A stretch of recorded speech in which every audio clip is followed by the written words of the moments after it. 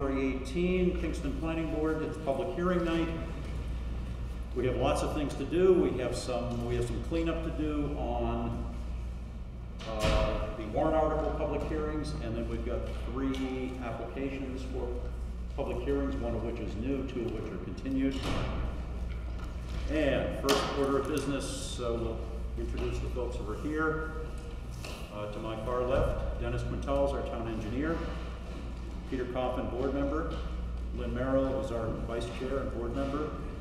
Richard Wilson is selectman's rep. Glenn Coppelman here. To my right, Chris Bashaw, board member. Peter Baiki, board member. Robin Duguay, board member. Glenn Greenwood is our town planner. And you'll notice that he has a laptop set up uh, and some, some folks zooming in. And uh, when we get to the hearing that they're there for, we'll explain to you what's going on there.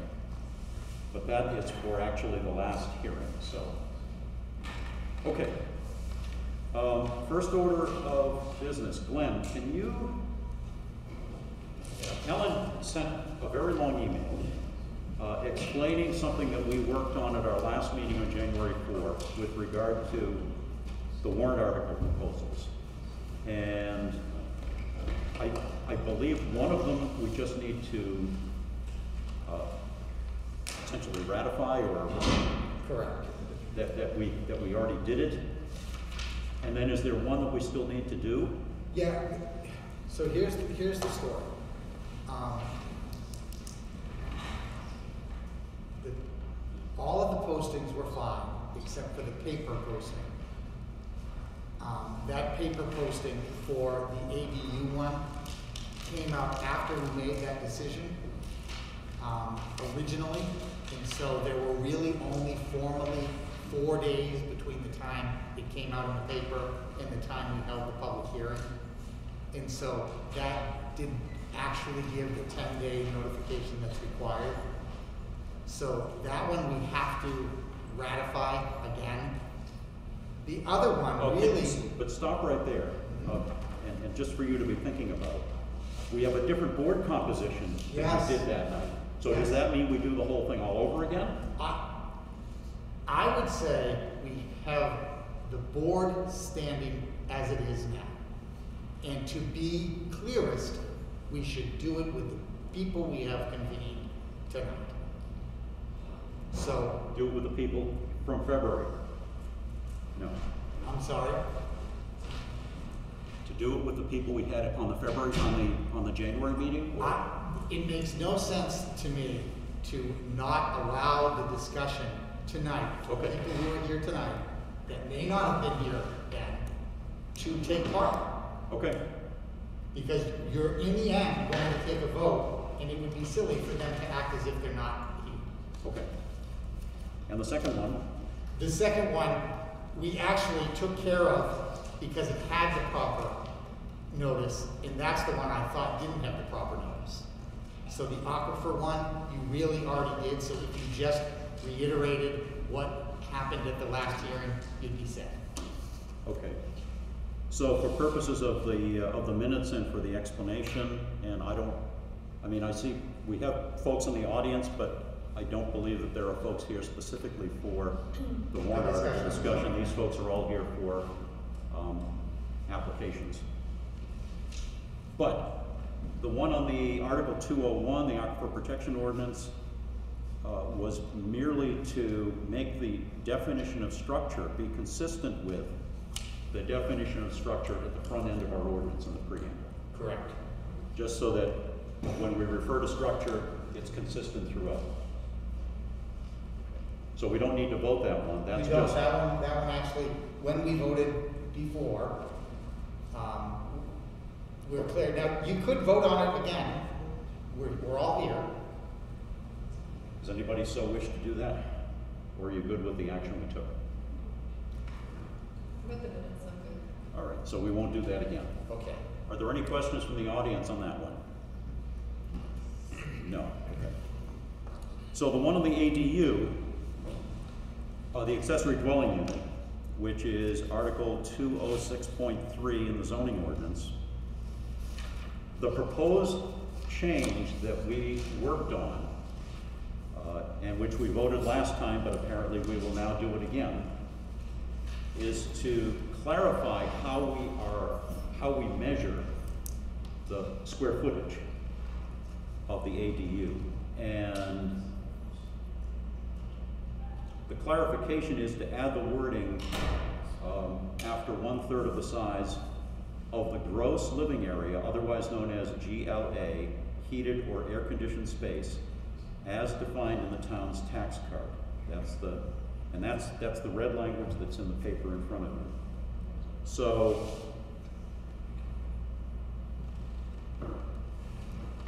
the other option was, help me out, the, the, the Effective. It's called effective square footage. Effective square footage. Okay. Uh, the tax cards use gross living area. Um, I believe that Glenn, when he does his calculations, had been using that, uh, the, that, I've been using the effective. you've been using the effective. That's correct, so this would direct me to use a different square footage from the tax card. Right. So, for those of you who might have read the minutes from the last meeting, if you weren't here, uh, there was quite a bit of discussion about this, and, uh, there was a vote. Uh, it was not a unanimous vote, it was a split vote, but the board at the time, on January four, voted to move that change to the warrant, uh, defining gross living area as the standard for making the measurement. So, if you'd like, we can have discussion again. Or, if you're comfortable with making a motion one way or the other, uh, right now the proposal is to, uh, is to add the wording that you've got in front of you in the red. And So I have a question for, uh, probably Lynn. You must, you must have, I mean, you statistically, you've been doing this for a long time. So, in your opinion, just, cause, no, I don't mean to say your opinion, your professional knowledge. What is the actual distance, difference roughly on an average house between what you're taxed for in GLA? Let me just, I think, I think I, when I, a couple meetings ago, when we talked about this, I don't think I really adequately explained it. Almost every town and almost every tax card, with the exception of Avitar that Kingston uses, only has two things. Total, um, space and gross living area. Correct. Total area, gross living area. They don't have this effective. The effective is a, is a formula, it's a, it's a taxation formula that's used by assessors. It, it really has nothing to do with one or the other. Um, if you go to other uh, assessing companies, they don't even have that published anywhere. It's just a formula that they use. Avitar happens to publish that, but gross living area is the area of a house that legally, with any multiple listing service, anywhere in the country, is what they use to define the square footage of a house. The, and the MLS sheet that you get, um, that a buyer gets, has total area of the building and gross living area. Those are the two. You never see anything else but those two. So the difference, again, uh, what, I guess what I'm getting at, the difference from Effective to. effective, they, okay, if I open my tax card, Mhm. I see what I owe the town of Kingston, period. Mhm. And it tells me I have X amount of square footage of my house. Mhm. Let's say I have a hundred square feet, Mhm. and I come to the town and says, I wanna put an addition on it. You say, oh, you can do a third, so all right, three hundred and thirty-three square feet, thank you very much. You, whoa, no, no, no, no, no, no, no, that's the GLA. You only can build two hundred and twenty-seven square feet. So, I just think it's gonna start an issue with people saying, you, you know, I'm paying this for the town of Kingston, I understand what the GLA and all the figures you're using, but square footage of a house I pay taxes on, uh, this, is this much money. But So- that's not the square footage of that. You're, you're paying taxes on the gross living area. When an, ass- when an appraiser comes in to appraise that house, an outside appraiser that's going to appraise it for your mortgage, they do not consider anything but GLA. In fact, if you have a finished basement, even if it's a walkout, it's not included in the GLA on an appraisal. So, so when, the form, that effective has absolutely nothing to do with the gross living area of a house or the area that's used to value a house. So what Kingston does, and every other town, is here's your value of your house with your gross living area. Oh, but yeah, you've got a deck, so we're gonna add a little bit more money on for your deck. Just like if you look at your tax card, you see there's a shed, or there's a barn, and they add a little bit more for that, or there's a fireplace and a little bit more of that.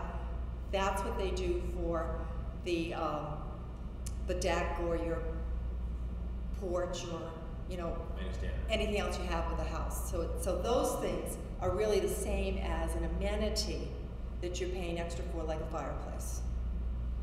And the issue came up about, uh, if you're making an ADU and you put a porch on it, that's not gonna get counted in your G- GLA for that ADU. So you, if you take one third of the GLA for the main house and build your ADU for, to, to match that, the main house has a porch that's gonna increase the effective living area, and the ADU has a porch that's increased, you know, the effective living area.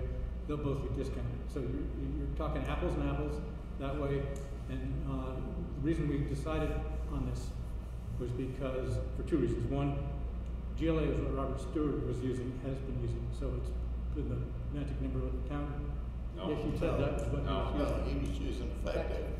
And what we did is we went through and used GLA mm-hmm. to compare them, and it didn't make a lot of difference. Mm-hmm. So, Because it was That's- giving credits for decks and stuff, like it'd say a deck is ten percent or something. That's what I'm getting, what I'm getting is, if the person that's gonna do the application, that's pretty simple math, is gonna figure it out, and I just think it's gonna cause a lot of issues by changing that. I don't think it For a will. very small amount that we're talking about.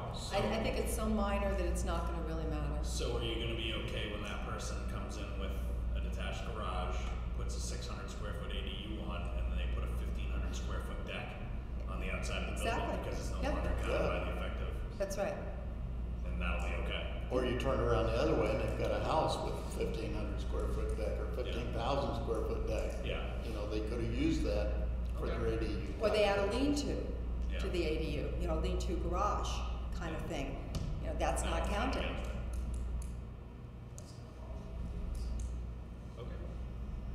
Didn't make a lot of difference either way when we played with two or three. We just randomly pulled some tax cards and tried it to see.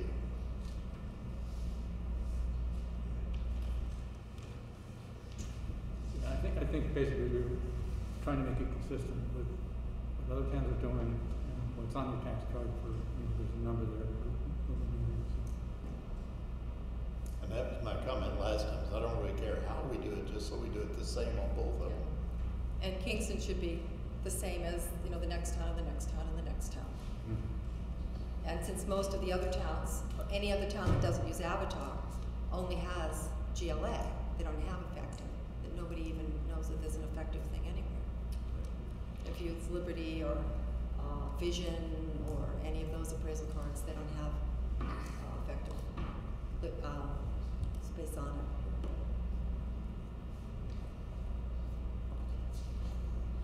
So.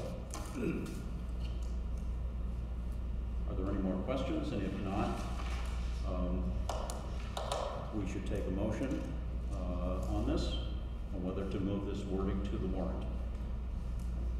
I'll move that the, uh, two oh six point three be modified to show the, um, words of the gross living area, also known as gross living area heated or air conditioned space as defined on the town's tax card. Uh, to the uh, existing article. One second. All right, motion by Peter Coffin, second by Lynn. Further discussion? Just say, I'm, I'm, I'm gonna vote to move it to the warrant, even though I prefer using the effective, but uh, I'll, I'll vote to move it to the warrant to let people vote on it. Okay. Any more questions or discussion? All right, all in favor say aye. Aye. Aye. Any opposed? Abstentions? So that's unanimous. Okay, so we've got, and we've got a full seven member board, so that's seven in favor, none opposed, and no abstentions. Thank you for that. All right. Uh, I'm gonna put off correspondence, uh, and minutes until the end of the meeting, since we have all of our applicants, uh, here ready to go. And I'd like to call the first application, which is Berkshire Dominion, up to the table, please. You guys know the drill by now? So while you're getting settled, We're settled. do you have uh, AV audiovisual or visuals? Yes, You have visuals, right? I do. Yeah. Oh, and I probably have plans here. Yes, you do. Uh,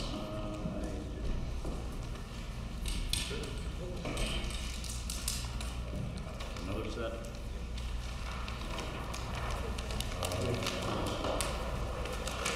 Got one more set. Dennis, you got yours? Glenn, you got yours? I do indeed. We got uh, eleven by seventeens, and we're going smaller size.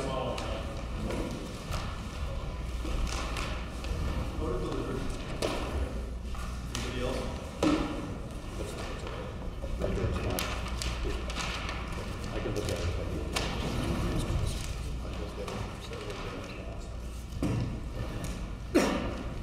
Okay, while you guys are getting settled, let me, uh, let me just read the, the legal notice. Berkshire Dominion Holdings, also known as Saddle Up Saloon, ninety-two Route one twenty-five, tax map R eight, lots forty and forty A. This is a continuation, uh, of an application, uh, to make amendments to the previously approved plan in an effort to bring the site into compliance per the selectmen's letter of deficiency dated June 16, 2020, uh, as well as to clarify operation of the business as desired by the owner. So at our, it's been a while since we've met, but we did a number of things that, at one of those meetings, one of those last meetings, uh, one was the board, uh, did, did vote on a decision regarding the outdoor entertainment, and so that decision was made. Um, And then there was some, some further work that Dennis was gonna review on some possible changes to, uh, to, uh, to stormwater management and so forth. Okay, so Charlie, why don't you bring us up to date on where we are, and then I'll have Dennis and Glenn go through their comments. Sure. So it was uh, November, was the last time that uh, we were before this board. Uh, Rob was here on behalf of uh, Berkshire Dominion and Saddle Up Saloon. And pretty much at this point, we had addressed all the site operation issues uh, with the business.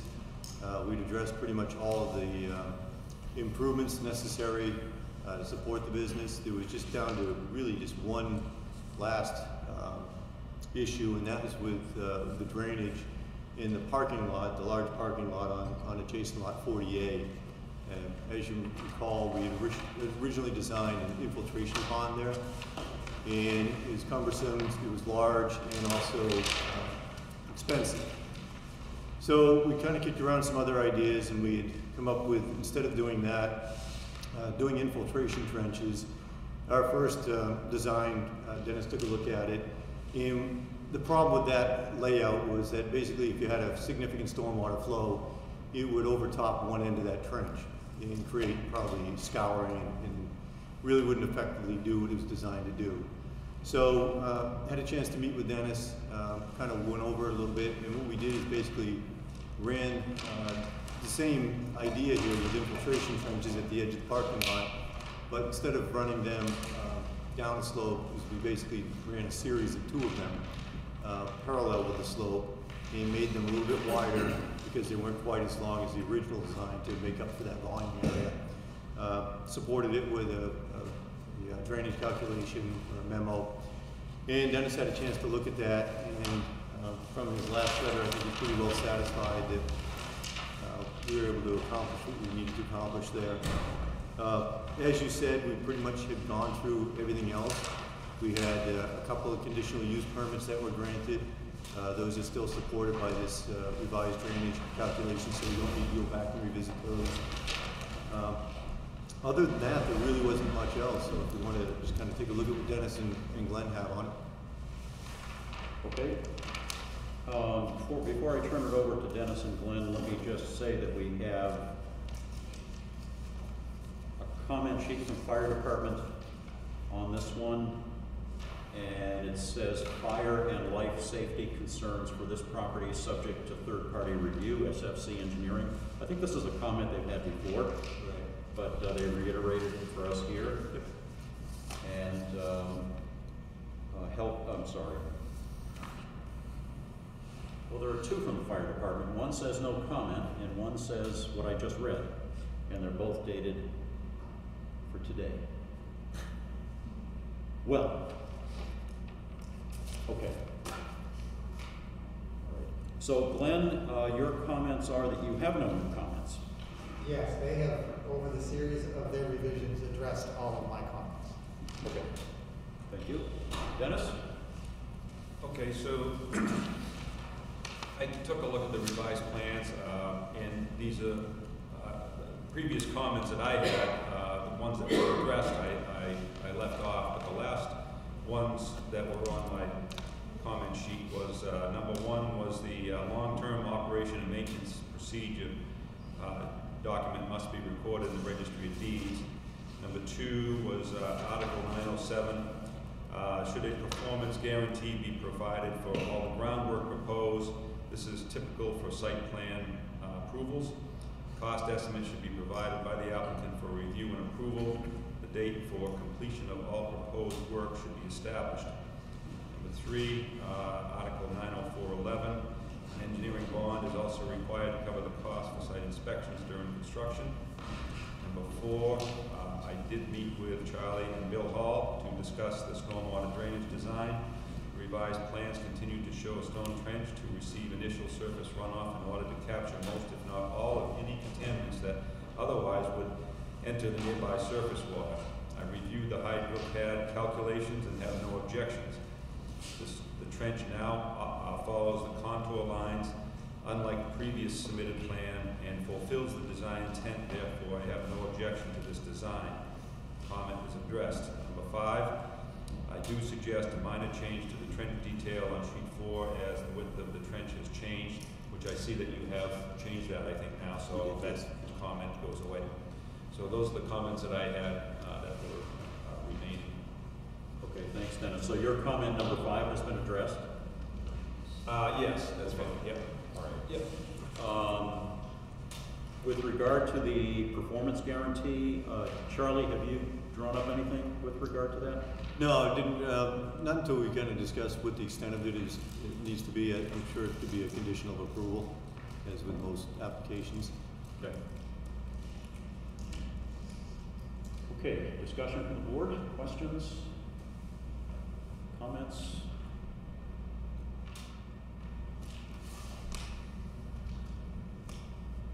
Um, And just, just, I, I saw a couple of folks walk in that, uh, I don't know if they're here from one of the applications, but, um, this is a public hearing, so at some point during the process, I'll be asking if there's any public question or comment, you'll be invited to ask at that point. Okay, Peter? Um, I have brought this up every time because the, the Conservation Commission made this comment, and that is, uh, uh, and I assume this will be a condition of approval, but, um, all state shoreline permits, including that for the floating dock, uh, and for the two fountains. Well, we took the floating dock out of, out of this application. Um, So, you may recall, we added note number twenty, it says, use of the floating dock, whether for service and/or patrons shall require approval from the fire department, building department. Additionally, a permit is required by NHDES if, uh, not proven to be an allowed existing use, quote unquote grandfather. Said use is to be offset with indoor bar seating. So if they want to use the floating dock, then they've got to pursue uh, whether or not it's a, it's a grandfathered use. If not, they'll have to get the, the, um, the permit for it, and they'll also have to get fire department and, and, um, building department review on that as well. So, so right now, the floating dock is not part of the request. It isn't. Isn't, but if, we approve this plan, there's something that says we have to come back here for approval for that, only to get approval from DES. It shows the floating dock on the plan. Yeah. And there's also the, uh, question that's in the uh, selectmen's letter about permits. Um, the dock was wired, and the question is whether any electrical permits were pulled for that, and whether there's, uh, marine interface connections for the, for the dock, so obviously we had it just connected by a wire. Um, and that got pulled away, you know, drifted off in the storm, got my wires coming into the pond, so, um, there's standards for, um, shore power connections for, um, floating objects. Wouldn't they be handled by DES or the fire department? No, not it's- really discussing It's building, services in the uh, electrical permits are pulled by the building. Yeah. Yeah, so there would be, need to be electrical permit for that dock, and also it was rebuilt, so, um, there should have been a building permit presumably for dock. But, uh, um, and, but that's one of the conditions, I believe, it's because it's one of the items on the, uh, selectmen's letter. Clarifications are, um, all permits, all work, um, need to go through the building department. And, uh, that, that's just one of them. Um, But we also brought up the, uh, the issue of the conservation commission. Uh, the, the fountains are required permits from DES. So that would be a condition of approval. We will have to produce the permits before the, the, before this, uh, before this plan is going to effect. There's no fountain on the plan. There's no fountain on the plan, yeah. We're not. There's no fountain on the plan, but there's fountains in the water. And we discussed that. And they actually have a photograph on their website, on your Facebook page of both fountains in use. So Kingston has a requirement, it's a phone permit, No, DES, we're not DES. yeah, but but all permits, I think we. It's not, established it's that- not on the plan, and it's not, and it, and we have no obligation over that, that's DES. I don't know what we're talking about. So part of the conservation commission's issues were shoreline permits, the pull, and they haven't been, so, um, I think That's that. DES. Yep. The town has no But we requirements, require- but the town has no requirements for it. I don't understand what we're talking, you just, the town has no requirements for a fountain permit. It's DES. It's not our board. Again, electrical wiring permits, It's not our board, we're the planning department, we're not the building department or anybody but that's else. one of the things the selectmen said, that permits will be required, so. Um, brought this up before, um, didn't have an objection before getting the state permits when they're required, so. Does Selectmen have a question about permits? The uh, conservation has raised the issue that the fountain is in there without permits from the state.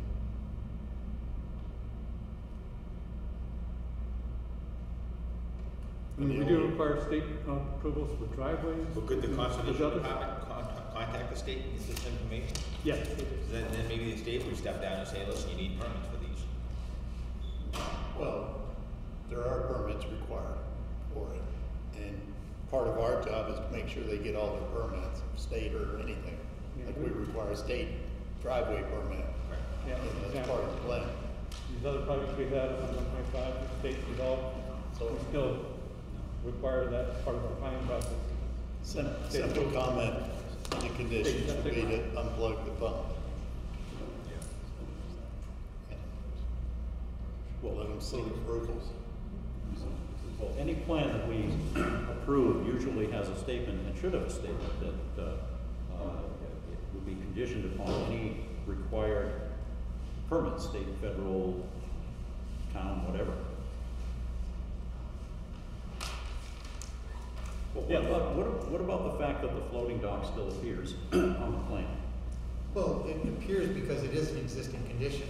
Okay, We- so, so the structure is there. it Correct, exists. I mean, we want a plan that reflects what is there, So then it's, it's a question of the, making sure that we understand in The our use of it. approval that we're not approving that for public use. right, No use. Well, and the question is specific to use, not existence, right? So Right. it's just a note that it exists currently. Well, the argument of it being grandfathered would be an argument because they've done a lot of work to it, so it brought it under needing permits. Um, I know one thing was to have the fire guy give us a rating on it, which we've never gotten. Uh, there was, like, say, construction, which we've never seen any of the engineering on, so, I mean, one of the conditions would be that it cannot be used until things are done, permits and all the things that they've said they do all along that they haven't done. Right, and that was one of the conversations we had uh, a couple of months ago, and uh, I thought we were all in agreement that we were gonna add this note that basically says that it requires the state permit or review by state, whether it's grandfathered or not, you'd have to get a permit if it isn't, and that would require fire department and building department approval prior to use. Yes. Um, We do show it on the plan, it's an existing condition, but this plan isn't um, approving the use of it until those conditions are met. Chris, the note reflects that. Yeah, the, the note says the use of the floating dock, whether for service and or patrons, shall require approval from the fire department, building department. Additionally, a permit is required by NHDES if not that's what we're approving is that note. Right. I honestly thought at the last hearing, we got down to everything but the drainage. Yeah, so did I. But that was- But that was the only thing remaining, that we had settled everything. But those were open-ended. The- the- Well, they were open-ended that we were gonna make a condition of the approval. Right, yeah, that's the wrong word. The other thing I'm gonna bring up again on that is, um, because the way the, uh, selectmen have sent this to us, you can fill me in on this, but the intent of the application to make amendments to approved site plan and effort to bring it in compliance for the selectmen's letter, that's, uh, addressing, of deficiency dated June sixteenth, as well as to clarify operation of the business, as desired by the owner. So, um, I brought up the issue of the, uh, the issue that we voted on before, which is the outdoor entertainment. And it was mentioned that, uh, I believe you mentioned that the, it's in the minutes. However, what we're approving is a plan. And since this has been a bone of contention for a long time, and we've had other issues that come up, um, where the, the plan is what goes to court. Uh, if we approve it, I think there should be a note, and I don't know why the applicant who's intending to follow this would object to a note in the plan that says that, uh, outdoor entertainment is not approved. Can, can, I'm sorry, and I'm obviously respectfully listening to everything that's on here. Last time we were here, as far as I knew, it was pretty clear, we were coming back in order to resolve the issues of the drainage. And it's just difficult for me, and I- and I'm listening, and it's hard for me to understand. Okay, yeah, I'm trying to listen down here. Uh, that's okay, but And I I- just, didn't we already, I just, We're bringing up issues that we've already hashed out over the past six years, and we move the goalpost and bring up old stuff every time. Which is why I think it should be on the plan, because the select board had a hell of a time trying to enforce that provision. And, and they have that in their meetings, and it's reflected in votes and all those other things. We don't require people to list out everything that's not specifically allowed on all their plans. I just don't think it's appropriate. We've done it before, we talked about the dock, that was listed as, as a non-use, we've talked about, uh, again, it's on the plan being not used. If you want it clear, it should be there because, uh. So it says, uh, note number eighteen, site to remain in compliance with town of Kingston no- noise standards. See zoning ordinance four oh seven, so I would think that sufficiently covers that. Well, it only applies, that was what they've been arguing before, we were, argu- they could put that on with the outdoor entertainment. And, um, Well, then I, s- then I say either make a motion to require it, but I'm not Or- or- I need to be done talking about it you didn't vote for it It's been six years.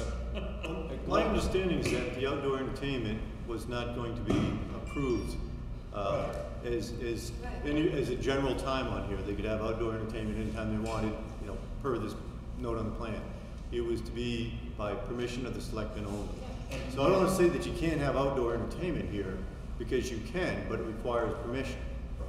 I mean, that Peter's would just saying, he thinks that needs to be stated on the plans, and I, I, Glenn, correct me if I'm wrong, but if this goes to court, minutes are included in Yeah, and. any uh, we- decision made on the minutes. Well, I, I made a statement two months ago that on approvals like this, I'm going to prepare a written notice of decision that will reflect those salient issues from the minutes. Right.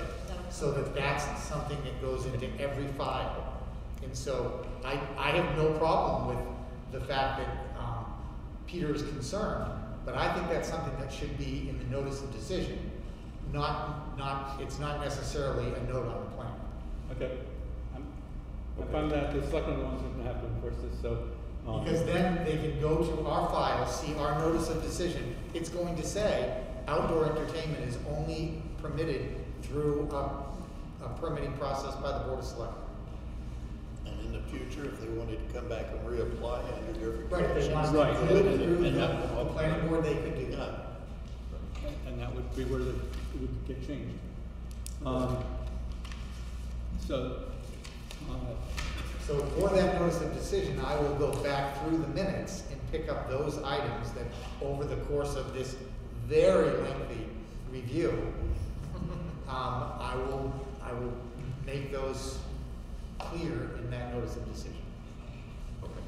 So then, if I'm reading this correctly, the Dennis's assessment is that the drainage issues have been resolved.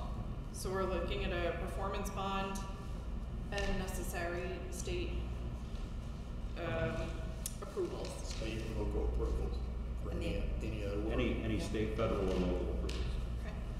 Okay. And, uh, the operation and maintenance procedure being recorded and the engineering bond. So just four conditions that I see. Okay, so. because that covers a number of the items on the list. Um, since they have asked us to clarify this, these are all items on the list, so I wanted to include them.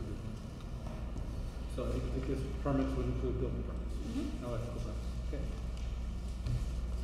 All right, before, before the board gets into its final landing position here, seat backs up, seatbelts on.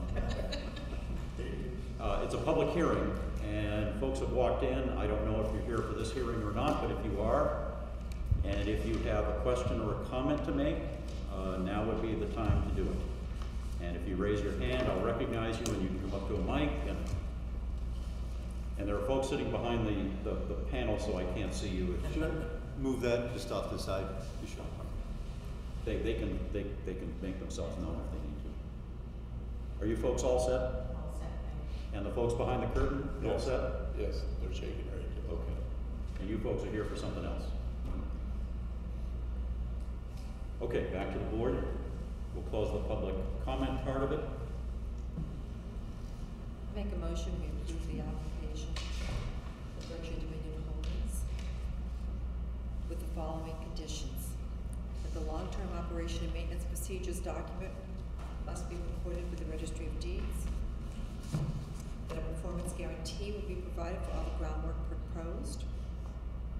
That an engineering bond will be required to cover the cost of site inspections during construction. And that all required federal, state, or town permits are received prior to use of the property. Second. Do we have a, um, time Hang, hang, hang on, hang on. So we have a motion by Lynn, second by Chris. Further discussion. Peter? Ju- Just had a question, do we need to include in the motion the timeframe for? That's, this is gonna be my question. Okay. For time frame for meeting conditions? Yes, we should do that. All conditions, isn't the usual ninety days? It's ninety days unless the applicant Does the requests something different. Than? I This just, time of year, you gotta ask for more. Absolutely. Yeah. But Only because I'm trying to follow every piece of this, obviously, and I just heard you, you made a motion to approve, and one part of that was based upon, uh, approvals prior to use, you said, could you repeat that part of it so I understand? Any required federal, state, or town permits are received prior to, um, use. But this will be, you've got so many days, we're gonna give you a Use time. Of, I guess use of what, not use of the restaurant, use. No, Use of anything No, that requires like the a dock. summer Oh, permit. sorry. So the Oh, dock or the fountains or anything. Got it, sorry, now I understand, okay. and we're going to put a time frame by which these conditions must be met. So obviously, that time frame cannot be the usual ninety days Right. because it's winter. So, I was, We Have a time frame.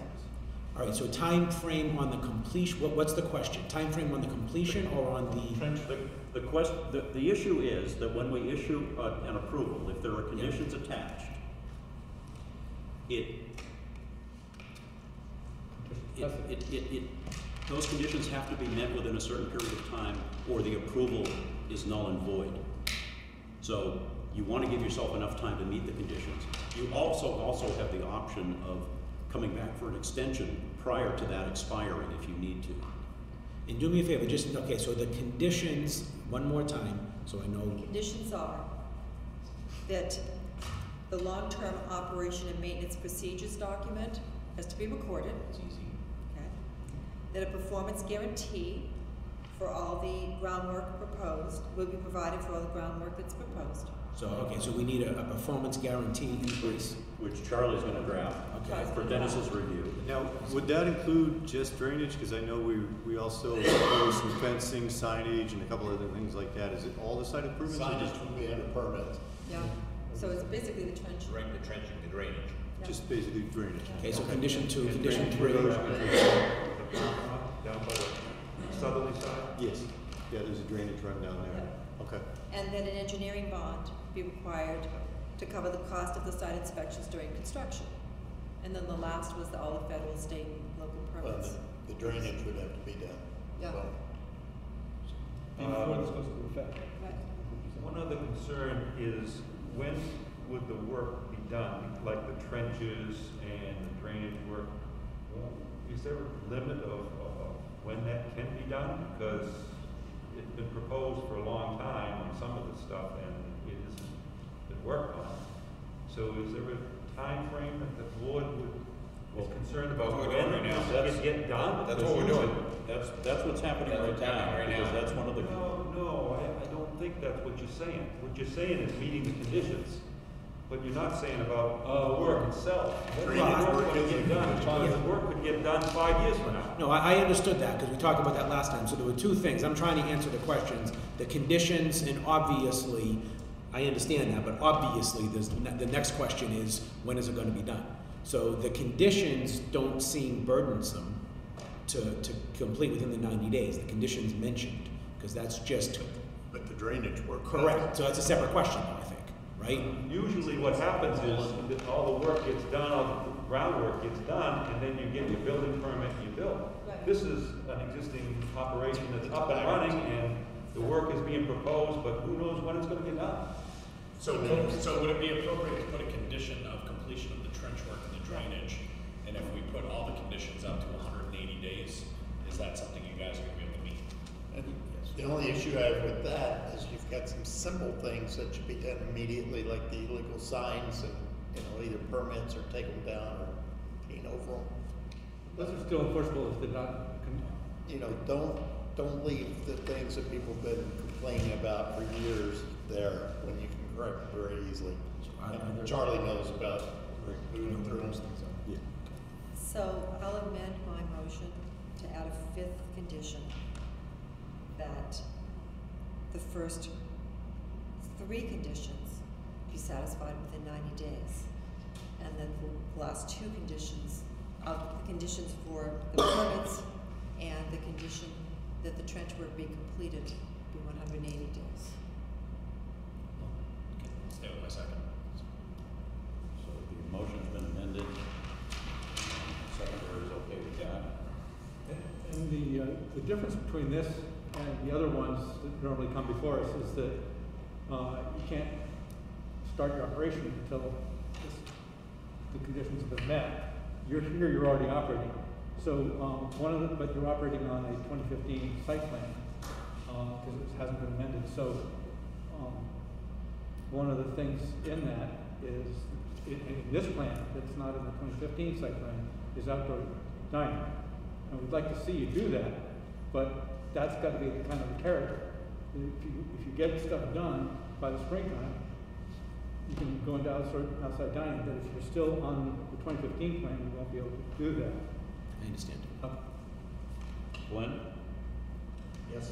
the way that motion has been proposed, is that, uh, does that cover it from your perspective? It does.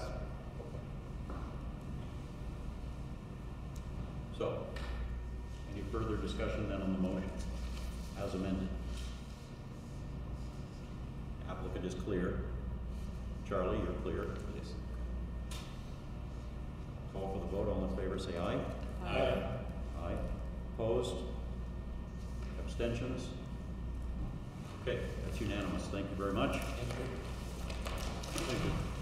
And any questions, uh, you can, you can see Glenn Green, Glenn Greenwood would be your Charlie? Glenn would be your contact if you have questions. Sure. Well, thank you. Thank you, guys. I'll miss these endless countless meetings. Bye-bye.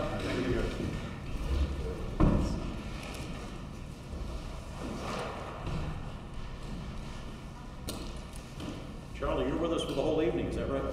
Well, one more anyhow. You know, Oh. so, so I don't want anybody. Okay.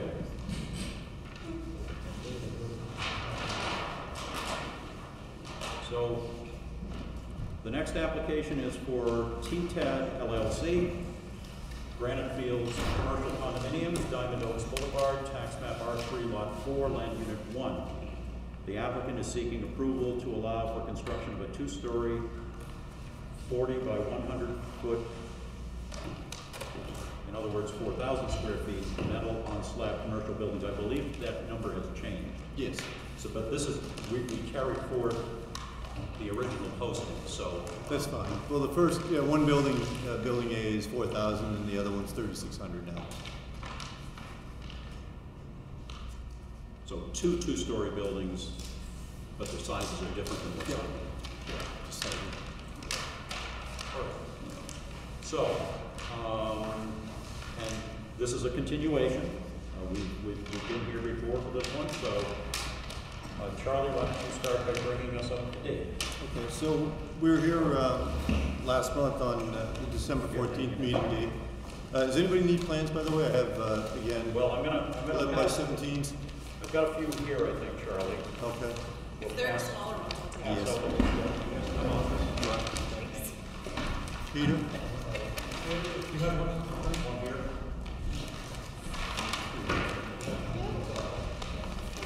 want smaller ones? Oops, thank you.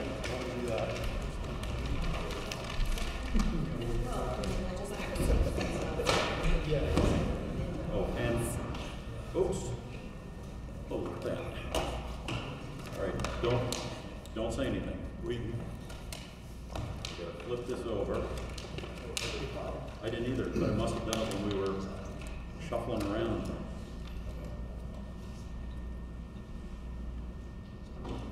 All right, so the tape has been flipped over to the other side, and just for the purpose of uh, Ellen, who's gonna be transcribing these minutes, uh, that last hearing ended at, uh, well, roughly seven sixteen, and we're starting this one at seven twenty PM.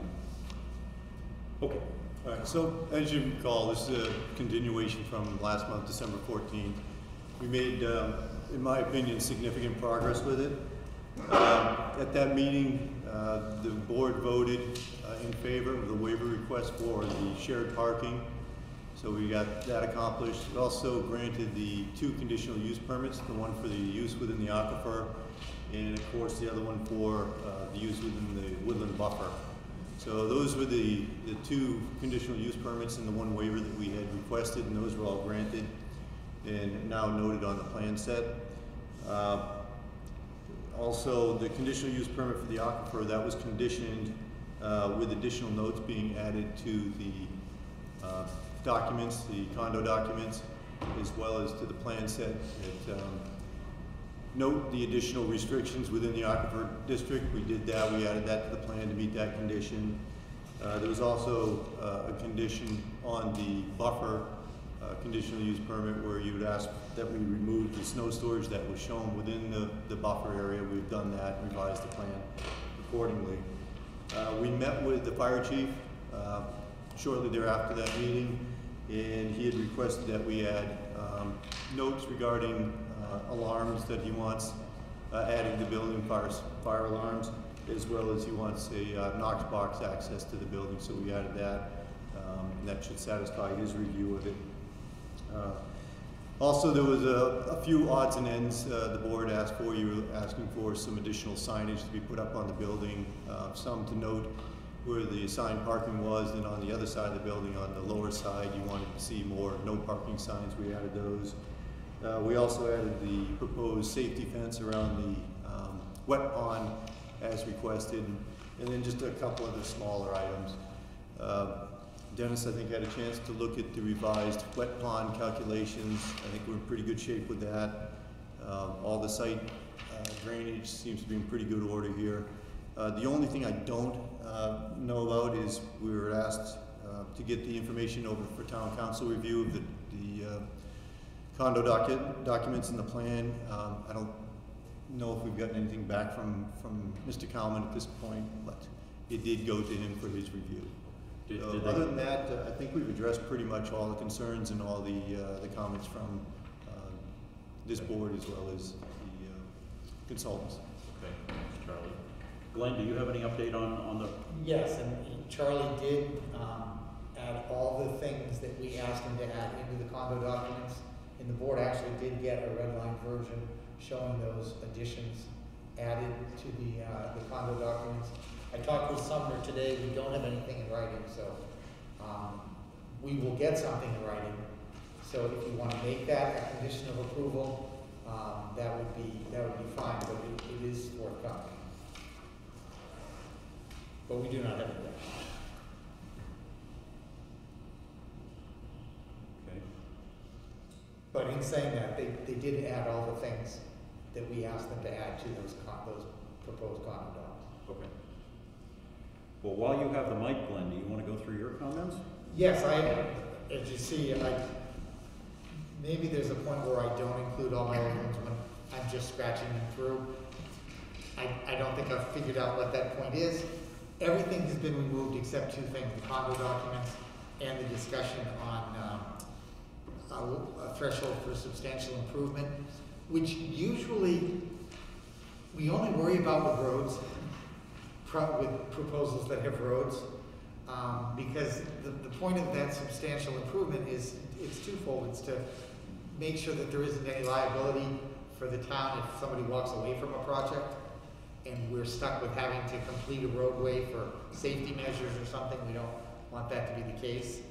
In, in this instance, the only function it would, it would serve is if they didn't do this development and in the ensuing twenty-four months, two years, um, they didn't complete substantial improvement, invest themselves, if we changed our zoning ordinance, it could impact their plan. Right. So I, I guess if, if we wanted to be concerned about that aspect, then we should say that substantial completion is the completion, the construction of at least one of the two structures. Oh, okay. I thought you were going to say completion of the project as submitted. Well, I mean, I think I- we want to give them some leeway over the next two years. Um, but there is, If, if one. building isn't potentially the greatest right now. Right. um, unless you're, you know, well off financially and you're, you're doing this all by yourself, then you can build whatever you want. So there could be constraints to them. I, I don't know, so I think we, we can't disregard it as I usually would with just a site plan. I, I don't think you should really do that, but I think it could be, it could be both buildings or it could be one of the buildings. I guess I, I mean, personally, I guess I'd be fine with one building, but I would also want to make sure that, that the, that the, the- the groundwork and things, things protecting the, the wetlands and the stormwater management, all that stuff is. Yeah, I think it's hard for them to even construct one building without making sure that their stormwater management is taken care of. Well, that may be true, but It should be I, I personally would like it specified, That's fine. and I'm fine with one, personally, I'm fine with one building, but we'll see what the board thinks. Perfect. Th- those are my remaining issues on this project. Thanks, Glenn. Dennis? That's the only thing the town would have to take over would be if they still wasn't stabilized and runoff. was- Correct. Quite frankly, the way it is right now, the runoff going in down to the Little River is, uh, is not a good situation. So if they got berms up and, and the slope stabilized and everything else, uh, that would at least relieve the town of having to come in and do that. Um, and as you say, for the purposes of, uh, not having us change the uh, zoning ordinances on them, getting a buil- one building up would be, I think, reasonable. Dennis? Uh, yeah, the only thing left on my comment sheet was, uh, oh was about the performance bonds, uh, being established, uh, and according to the nine oh seven, uh, nine oh seven three eight three states that the amount of performance guarantee shall be set prior to final or conditional approval of the plan. I recommend the detailed proposed bond amount be submitted so it can be reviewed prior to any formal form of approval not yet received. Uh, that's what the regulation, uh, that's what the regulation says, but uh, again, we talked about that being a commercial, uh, and a condition of approval in the last one, so I suppose you could still do this one too. Would, would you also include, as you did in the other one, the, the bond for, for inspections? Uh, you could do that. Um, part of the spreadsheet that we've used in the past has, uh, a line item for percentage for engineering costs, so it could be included in, in, in that too, but that, that generally is something I work out with, with Charlie, at that, uh, in, in that case. Uh, So both items are pertinent, whether they're Yeah, yeah.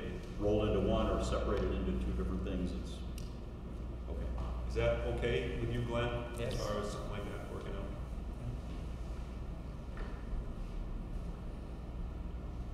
Uh, we have one comment from the fire department that says, no comment. That was the extent of comments received from departments. Um, I'm gonna take public comment now before I forget. Uh, I don't wanna get too far down the pike here. So the board can be thinking about how you wanna proceed from here, but uh, Since this is a public hearing, if you have questions or comments, now is your opportunity. And if you do, just raise your hand, I'll recognize you and you can. I keep looking over here and I'm just, They're all here for the next one. oh! All of them except for Jim. People on the screen. And the people on the screen. Everybody's here for the next one. Got it. All right, let the record reflect then that uh, there was no public comment. We'll close the public comment part of the meeting and bring it back to the board.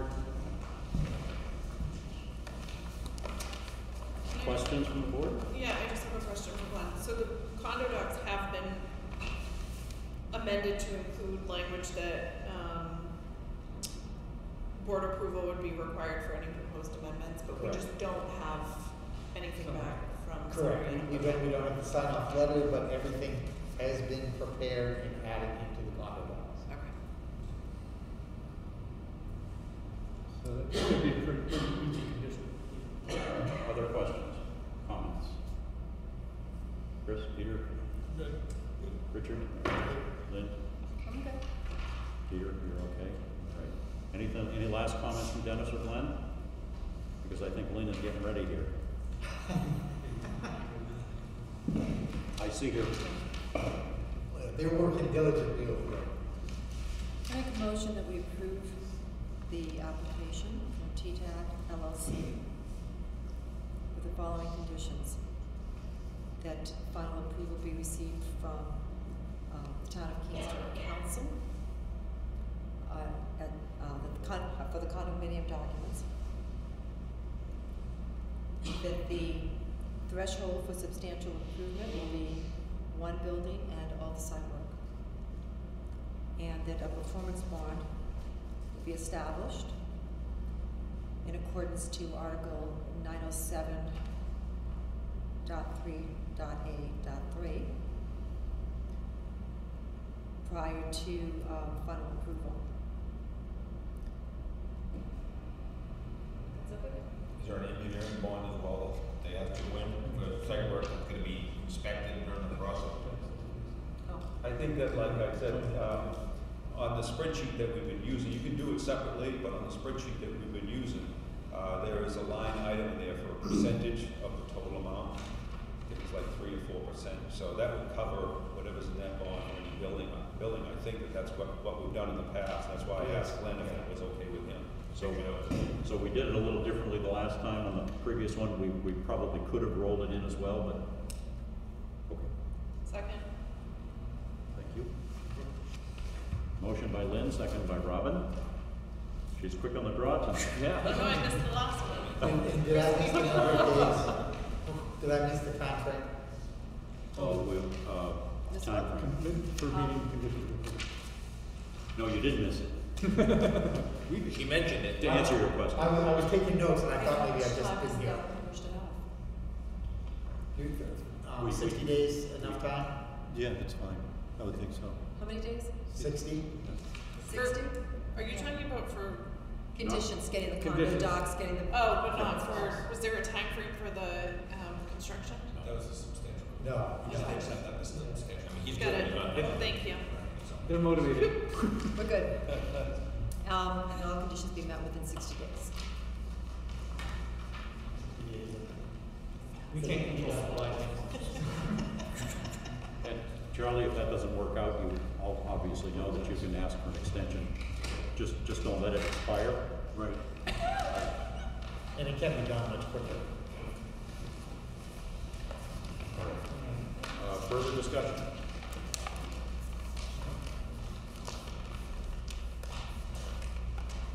You guys set there? All right, Call for the vote, all in favor, say aye. Aye.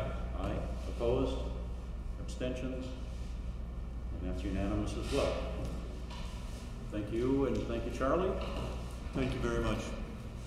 Have a good evening. You as well. You don't want to stay for the last one? Professional curiosity. No, I think. So- Not quite your level.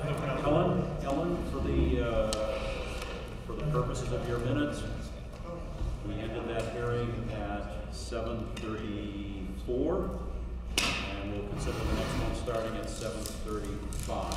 So, I, um, you gentlemen, yes? If you could come up to the table, please.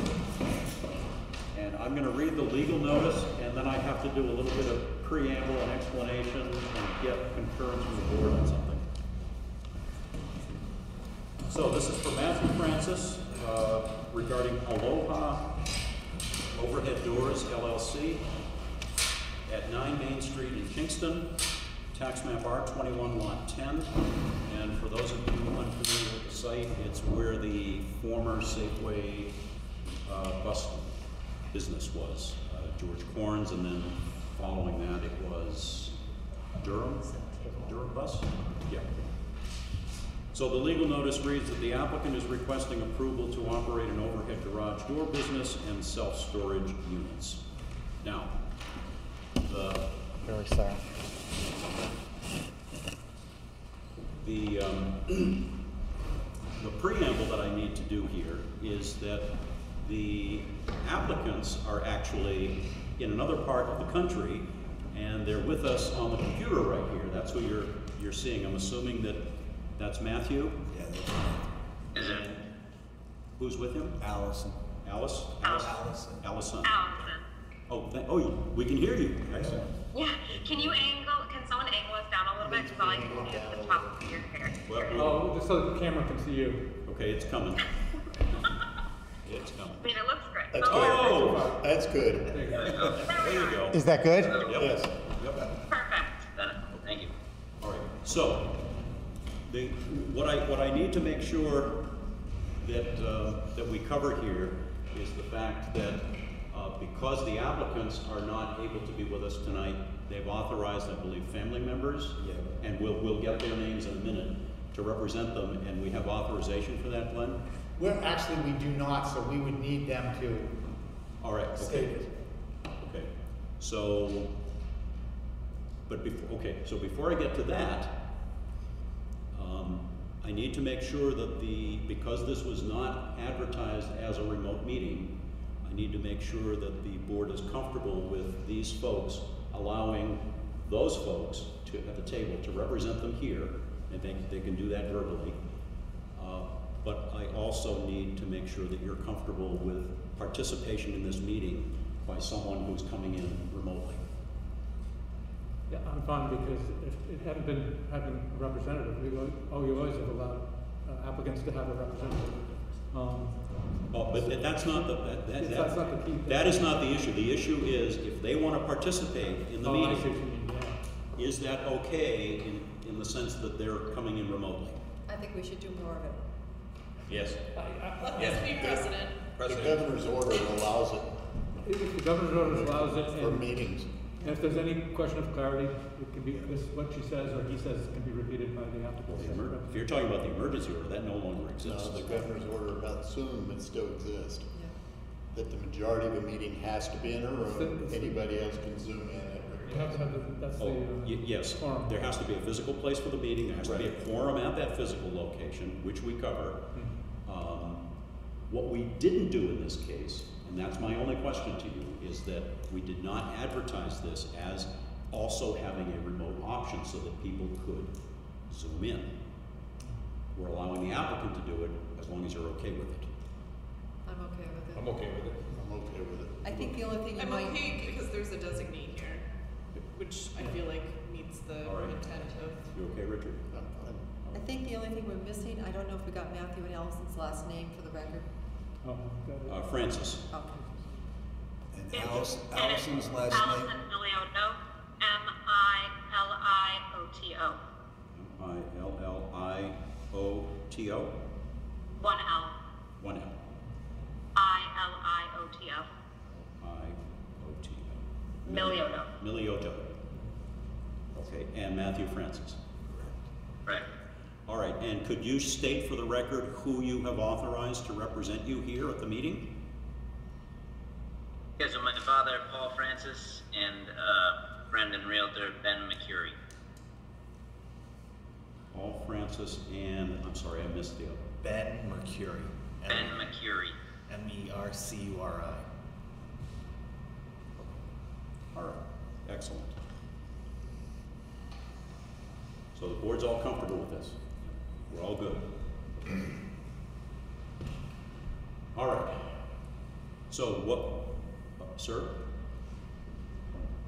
Since you're making this sort of a Zoom meeting, No, we're not. uh, well, one of the abutters is away at work. He's working not in town, he's away. So if you're allowing them to do it by Zoom, why can't Dwight Simons be on Zoom to see this meeting? He's an abutter. Okay, well, this was my concern, and which is why I wanted Glenn to uh, advise me before we even got to the meeting, which is why I went through this whole process. And so, uh, Glenn, I want you to address that question. I mean, are you saying that he, he would like to zoom in now? Well, again, I don't know if he would, but I'm just saying, in the effort to be open and fair, if we're allowing the owners to zoom in and it wasn't made in advance, we could have let one of the abutters, Dwight Simons, know he could zoom in and be part of the meeting. Since he doesn't know that, he's not prepared to do that. I think the only difference is that in this case, if they were not here at all, they have a legal representative here, and they have that legal representative here to speak for them. I think that's the difference. Um, if we had known that this was going to happen, obviously we would have advertised it. Well, if they're their legal representatives, then they shouldn't be in the meeting. Because if they're the surrogates, given the legal authority, then they have no need to be by Zoom. Am I wrong? If I'm wrong legally, somebody please tell me. The only reason that they're here is if there is a question that they would answer more clearly than their representative, they wanted to have that opportunity to do that. All right, I understand that. But what about Mr. Simon's opportunity to address the meeting? He could have a representative too. He could, and he. If he had known ahead of time. Well, the, the abutter notice, the, the abutter notification says you can come in person, you can submit written findings, or you could have someone come in your place. All right. So he had that ability as well. But like I'm saying, if, if he'd known that we were gonna do his own thing, he probably could have done that too. That's all I'm bringing up, in the, in the effort to be fair to all the parties involved. I just want to know that to be on the record. That's all. Understood. And if you could state your name for the Uh, record? Garrison Todd, seventeen Main Street, I'm the butter. Thank you. Adam? I'm not taking this out, I'm just, I know this has come up in the past, and this is something that Zoom, if we are allowing one person to participate via Zoom, we do have to allow anyone to participate via Zoom. That, that is one of the legal requirements, I just, I know about that from another source, I just wanted to let that be known. My question then brings this question up, is what if in a butter, they come in here and said, I wanna zoom in, would we have allowed it? Yes. And perhaps it may be procedural, and if, instead of having them, having them face us and answer questions directly, if, if they put the computer in front of their surrogates, and if there was a question that came up, as Glenn points out, that they wanted clarification, we wanted to get some answer, uh, you could ask them. It'd be like having a phone call. you know, but, I guess um, I, I guess I, I think the thing that, you know, uh, the abutter is bringing up is the fact that, and I think you mentioned it in, in the, because we did not post it, post the Zoom link that was available to others by allowing one, and obviously there is, there is an issue at present with it, it's not like there's no issue, we now have been made aware of an issue. We may not be able to proceed, or it's gonna, it just, it, it, the door is open for a rebuttal to anything that occurs during this meeting by allowing something not posted to occur. And the other side of this is, how long have they known they weren't gonna be here to request a continuance or to request a Zoom meeting? I, I honestly think, of, I'll make a motion to, uh, Yeah. postpone, continue to the next meeting. Well, I know, I would say, I would say if they have a representative here, if they want to, if they want to continue it, but I, I think we either have to disallow the Zoom in its entirety for this meeting since it wasn't posted as public.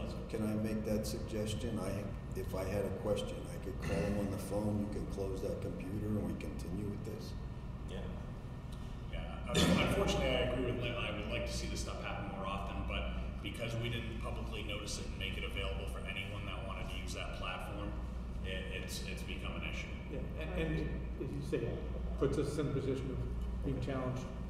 All right, in so validating what I'm hearing from the board then is that you're okay with continuing this hearing as long as we're not using the, uh, the, the remote participation. Correct. As long as the applicant is. As long as the applicant is okay with it, and if you're not okay with it, we could continue this to, to the, to the next, uh, to the next public hearing. Your choice. So, we don't really have a choice but to be okay with it because of timing of the property purchase and opening a business. Um, but because they got to speak and just say something to the, bo- to the board, could we just say something before we disconnect? I- I- I- Nothing that we nothing that we can take into consideration at this point. No, I'm just, I just want to make sure that we're transparent with everyone in the room, including our abutters. It was not really our choice to be gone at this time, and we thought we did everything in our power to make sure that we were prepared for this meeting and extra communicative. So we intended on being present for this meeting, and this is a very important matter to us. So I understand your decision to disconnect the call, but I want to make sure everyone in the room, specifically our abutters, understand that this does mean a lot to us, and we put a lot of effort, money, and time into making sure that this all goes through.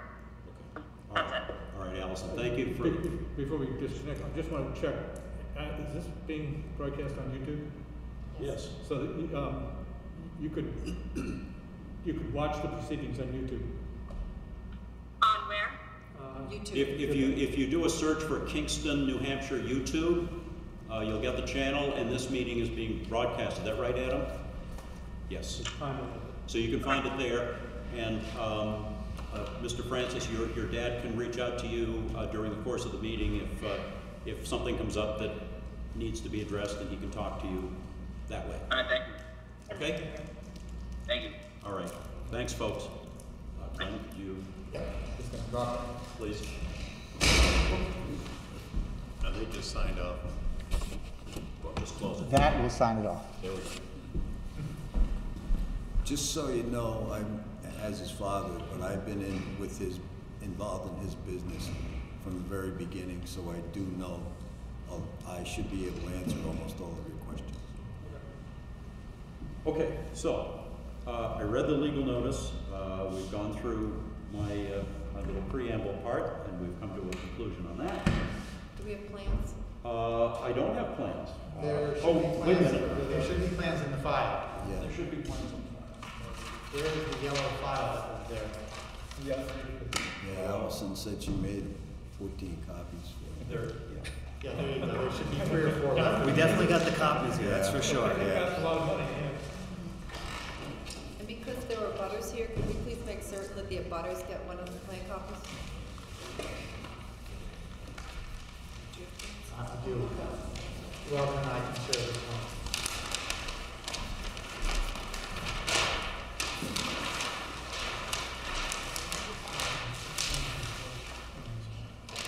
This is the first time I've ever seen you. All right. Uh,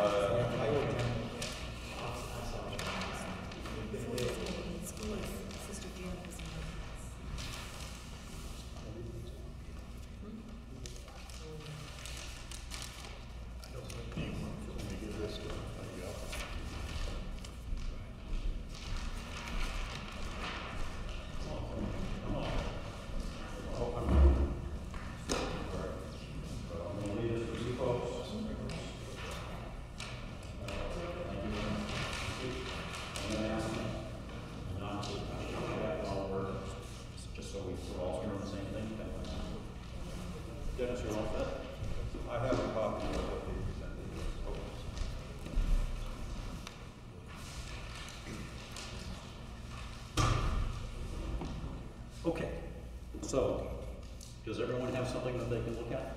Physical plan? So, Mr. Francis, if you could sort of walk, up, what we start with is the applicant uh, giving a presentation, so if you can walk us through what it is that, um, uh, that, uh, that the property owners are looking to do?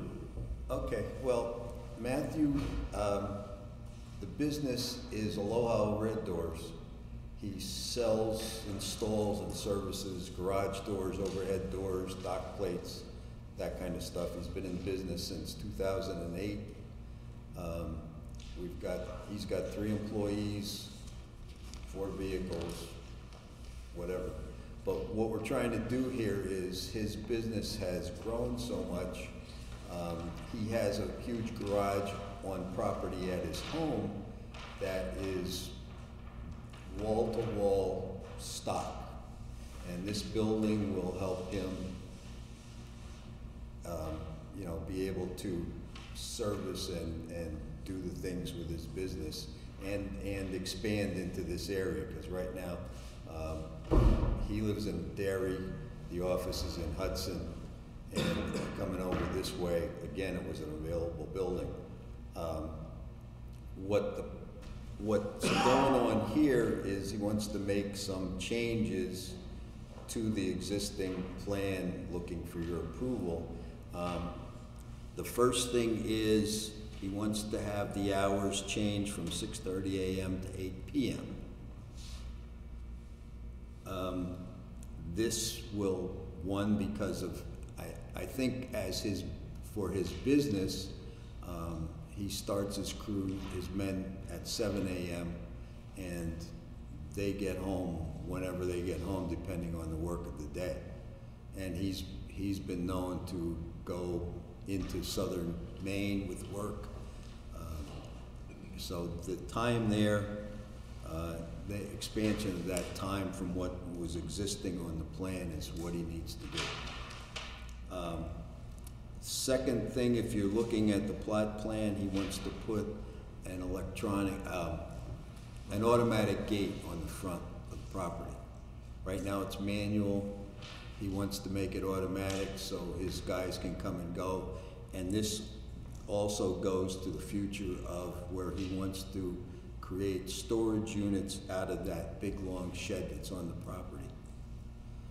Right now, I think uh, the police department uses two of them, and from what I understand, the other day when the gentleman pulled that old trailer off the property, um, I've been told that the police department uses that shed to keep cars protected when it's uh, bad storms. So maybe that'll be something he can offer up to the police department. So that's the uh, section at the front gate. When you get to the main building, lighting is, lighting, he wants to put, uh, there is a street light type light on the building now. Uh, he wants to add on three corners of the building, um, motion lights that would be aimed down, but for security purposes, because he's gonna have quite a bit of inventory in this building. Uh, going down again, that shed, he wants to create twenty-two, um, storage facilities. Uh, just simple stuff, looking for, you know, maybe landscapers, that kind of stuff, not having, uh, a whole lot of, not really advertising out to personnel people, to personal people, but whatever he can, but they're gonna just be the individual, if you, anybody ever saw that, if he puts garage doors on each section, that would create twenty-two storage facilities there.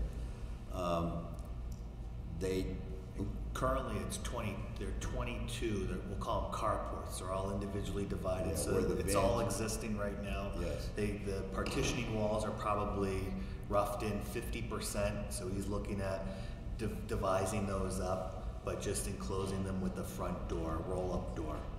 and no, and no rear access or anything, I know the, abutters were concerned of somebody being inside and going out, but that, right now, the building is solid on the back wall and it's gonna stay that way. Um, He also put in possibly, uh, putting up a privacy fence along that back side.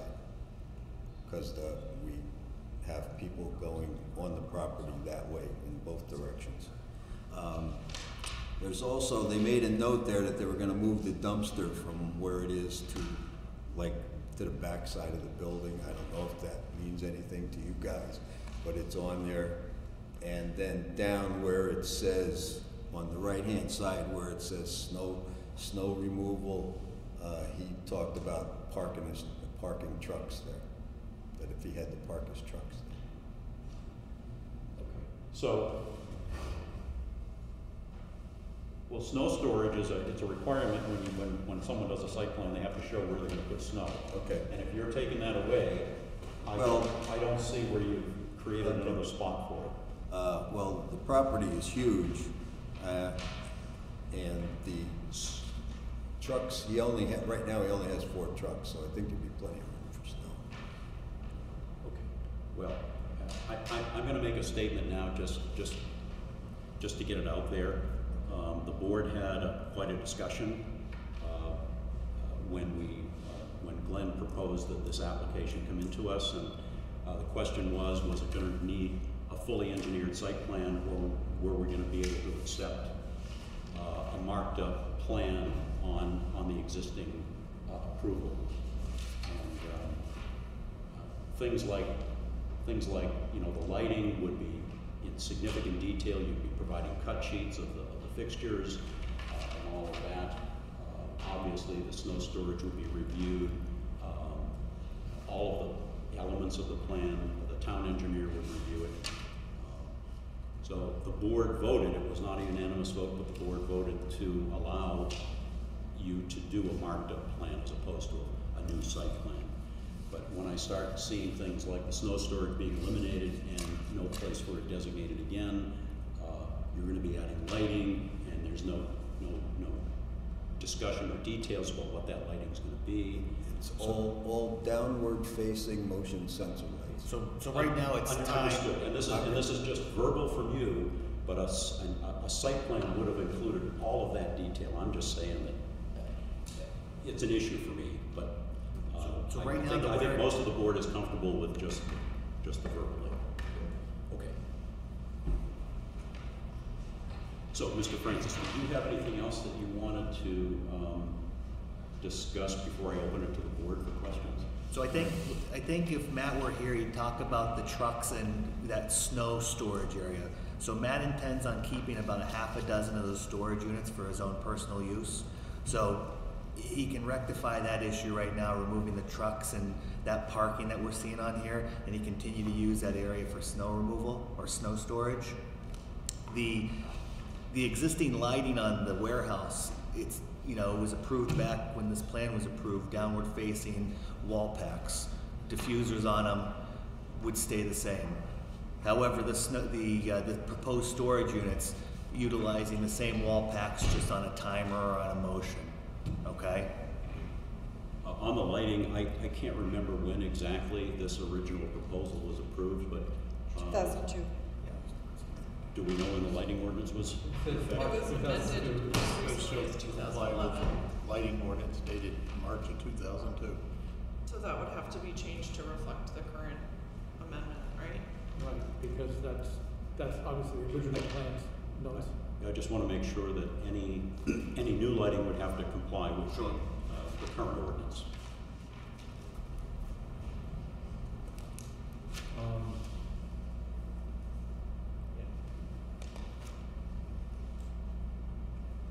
You want our comments first, or do you want to go to public comment first? Department, department comments. Uh, let me, let me do department comment. Uh, and then, and then we'll go to public comment. And uh, Dennis, I know that you, you didn't review this, but if you have comments, we can certainly, uh, certainly want to take them and Glenn, you as well. So Health Department has no comment. Uh, Highway Department, four comments here. One, where is the replacement snow storage area? There we go. Okay, well, I think we've talked about that one. Uh, how many employees? I think you did verbally talk Yes, about he that. has, he- right, at present, he has three. Uh, If, if you had thoughts, or if he had thoughts of more employees, you probably want to be talking about that as part of the approval. Um, Because if, if you, if you get approval for three employees now, and then in six months you have five, you're gonna have to come back, or he's gonna have to come back for an amended site plan. Really? Because it's, the site plan is tied to a specific number of employees, a specific operating hours, et cetera, et cetera, et cetera. Okay, just, so, And I believe when he came before the Was a slightly different number, but I don't know off the top of my head what it was, but. uh, well, he's, he's looking to have a, uh, like a secretary clerk in the facility, so that would be one, and then if he, as, as business would expand, and if you could hire some employees, you'd probably add, he'd add two technicians, so maybe call it six. So, so right now, there wouldn't be a day-to-day employee on site, they would Yes. just be picking up a vehicle or materials. It still, it still counts as employees. Have the department has ever taken numbers on employees? We always do. I was just looking at those plans and it's on a mess. It's one, it's, it's, it's on the list of, of things. Is it?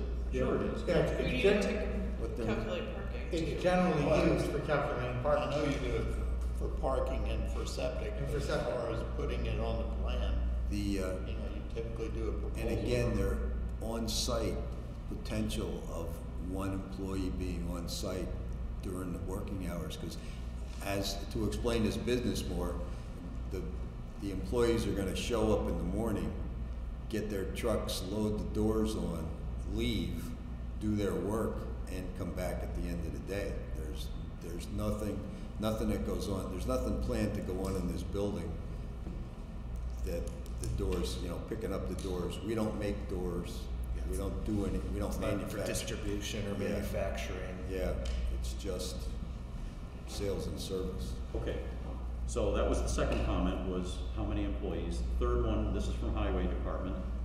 Uh, how many company vehicles is a question. Uh, and the fourth item, are there enough parking spaces? And again, because there aren't clearly delineated parking spaces, by looking at the plan, I would have no idea, uh, if there are enough. If there are. There are delineated parking There spaces are? on the There plan. are, And but and employee visitor parking lot plan. Yep, clearly see. Yeah, I guess what I was looking at is where the snow storage was going away, I didn't see No. designated spots. Yeah.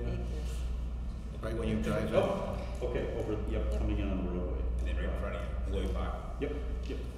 I guess the bus company must have had way So- more than we ever have. The building department has two comments, and they're both posed as questions. One, shouldn't the site plan have the applicant's name and address in the title block with current date, question? And number two, shouldn't the changes to the plan and the handwritten notes be identified as belonging to the new applicant, question mark, not George Horn? Okay, so that's from the building department. And I already read health department, which had no questions. Should already have your signature on it.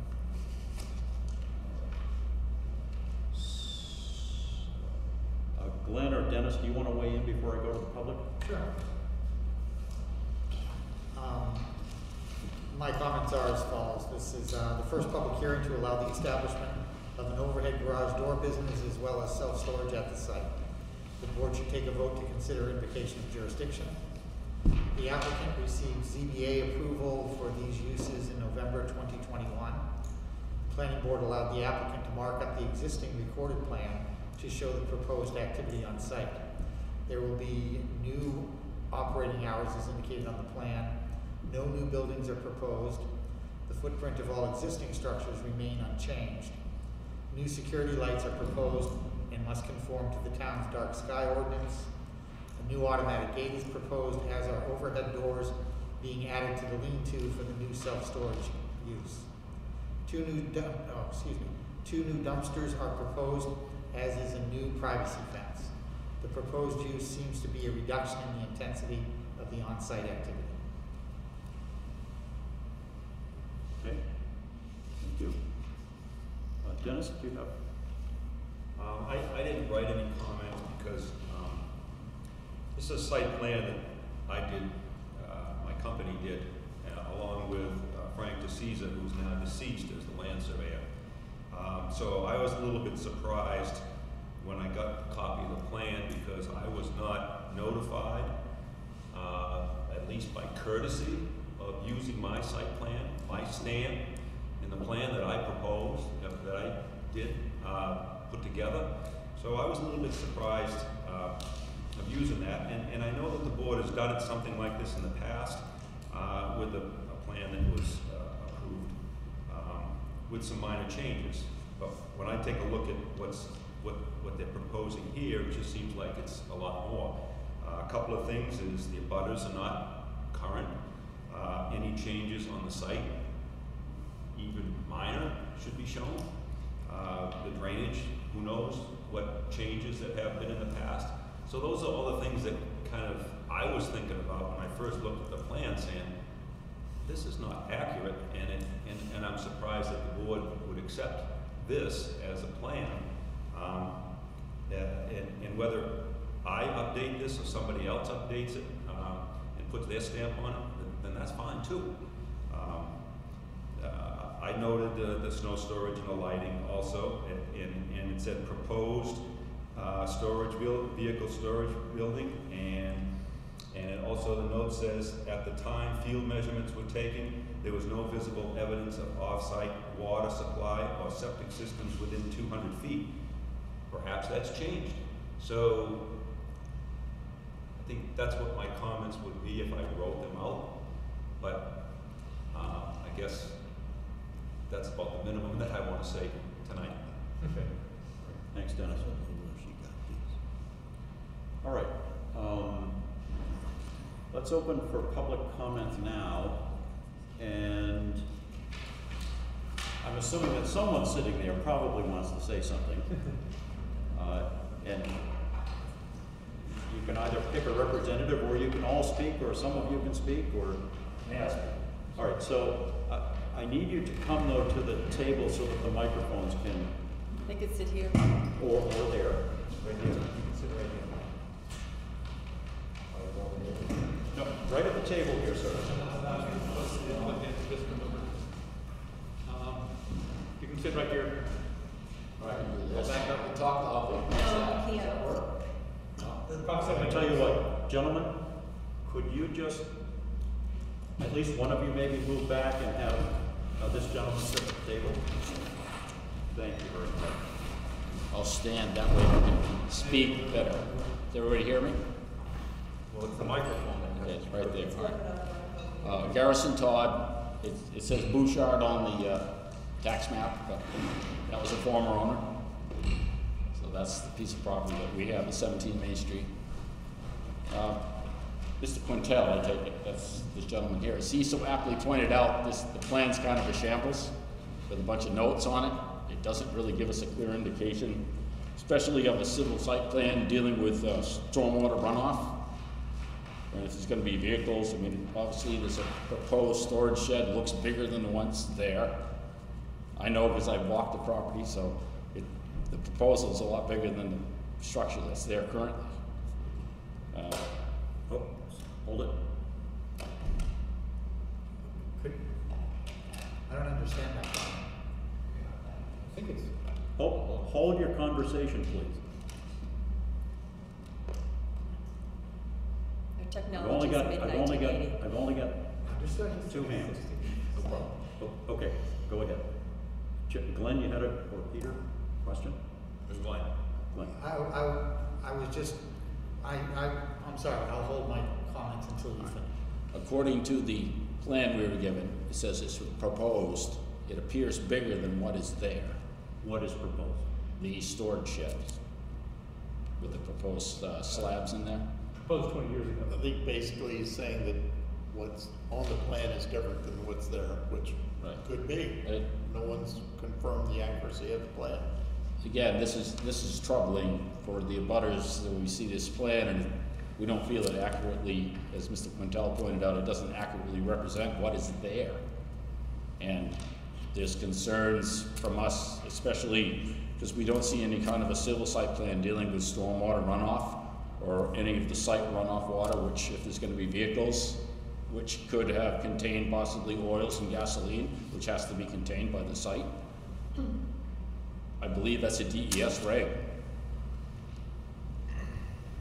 So that's, that is a concern of ours. We're not against them having a business there.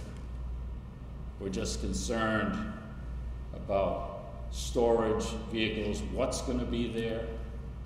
Um, I'm sure some of the other abutters have questions about other aspects of that. But again, I just wanted to bring the attention that we agree with Mr. Quintal, this doesn't look good when you bring it, bring that, and it doesn't answer a lot of questions. So, I, thank you. Thank you very much. Who's next? Hi, Elaine Todd, Garrison's wife, 17 Main Street, Kingston. You need to speak. Sorry. The last meeting I was here at the uh, variant meeting, we couldn't hear anything. Can you hear me? Now I can. Okay. Um, And you said it was Elaine Todd, Elaine Todd, yeah, 17 Main Street. 17 Main? It's under Bouchard. Yes, got it. I've lived there for over 50 years. I've seen a lot of changes, and I'm not opposed to what he wants to do, but because it is behind my property, I do have concerns. Um, one of the concerns I have is about the time change that the business is going to be running. Um, we always get a lot of uh, traffic there with the police station and the town shed. And, you know, we really don't want to add a lot more to it. Um, the time that he wants to make it, I believe, is seven AM to eight PM? Six thirty. Six thirty. Okay. AM I couldn't hear, so I wasn't sure. Um, I know that changes what was there before and what was allowed before, so I'd like you to take that into consideration. Yeah, what was allowed before by the, the currently approved plan is seven AM to five PM. Right, right, The proposed expansion is to six thirty AM to eight PM. exactly, which makes it earlier and later. Um, the other thing is, something was said about, um, wells and, and that kind of thing. We did put an artesian well in a couple of years ago in the back part of our property. So I don't know how much distance that is from what he's proposing, but I would like to have it checked into, uh, before, you know, anything further goes. And that's about all I had to say. Thank you so much. Thank you very much.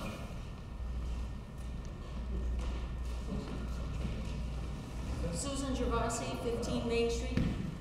Um, my biggest concern is the amount of traffic that will be, um, on the, on Main Street. And I don't know if it's you guys I need to speak to or the state of New Hampshire, but we need a traffic light at that intersection. And when we came for the meeting with the other board, um, the owners were here, uh, and they uh, concurred, they agreed, they thought that we should have a traffic light there rather than just the flashing light we have now. That intersection is very dangerous. So, like I said, I wanted to bring that up because I don't know if that's something that has to be addressed to the state of New Hampshire or if that's something that you guys can address. I believe that's a state highway because that's, that's Route one One eleven. twenty-five, well, one, ele- yeah. 111 at that point. Yeah, Um, and, uh, although one part of the intersection is a town road, it's where Main Street comes in. Mhm, Uh, and then, yeah, Main Street at both sides, but yep, Probably Chief Briggs could address that issue. You wanna go, just call the police department during the day, and he can answer that question for you. okay, Who to get a hold of. okay, well, he's right across the street, so that's easy. There you go. All right, thank you. Thank you.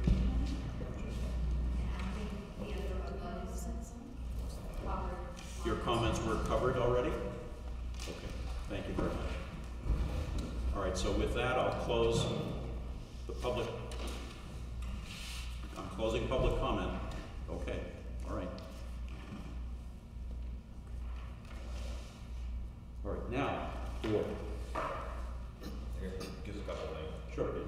Um, just by looking at this plan, I've, I've seen these buildings 125. I've never measured those buildings 125. The one on the right, to me, doesn't look 240 feet long. But anyways, into there. I don't see, I don't see, personally, I think, uh, maybe, you know, this, this is a record of public acceptance, so that's probably where they got this copy from. Got it Public from the record. reg- registry of deeds. There you go, public record. But anyways, so they may wanna change the, uh, maybe get a different plan for us with all the, uh, the improvements they're gonna do. And using that existing building, which would- obviously they work on cars, now they used to be storing garage doors in it. I don't have an issue, I, I would first, I wouldn't have an issue with that, but by looking at this plan, I think this may be one of your classic site walks, kind of see what's going on down there, and actually look, look, at- look, look what they have down there laid out. Not have to trust this, because we don't know what this is. Well, and, and, and I'm not disagreeing with you, Peter, in fact, I'm, I'm, I'm, I'm probably more in agreement with you than Yeah. anything, because, um, I think I was probably the one, if not, one of, one of two, or one of the only, one who felt that using the existing plan was probably not the best way to go. Right. Give you some kind of guidance. but- In any case, um, the board did vote, uh, to allow it to come in this way. Now, that doesn't mean that it could take a different direction based on what we've seen and based on the discussion here tonight, but, um, but the board did vote, uh, to allow this as the submittal, so. And if I can just address that directly, I'm, I was perhaps the strongest advocate of that and remain an advocate of that. There are no changes proposed to the paved areas on site. There's no changes to the structures on site. There's no changes to the, the footprints on site. Um, so using a record plan and doing an affidavit or facts of findings that we record at the registry, not an unusual practice. Um, I'm, I'm certainly not trying to discount anyone's comments. I didn't believe for a second that this did not represent what's out there because I have inspected this site on a couple of occasions over the last twenty-five years. Um, I just wanted to go on record as saying that because it seems like that's a point of contention. Could be.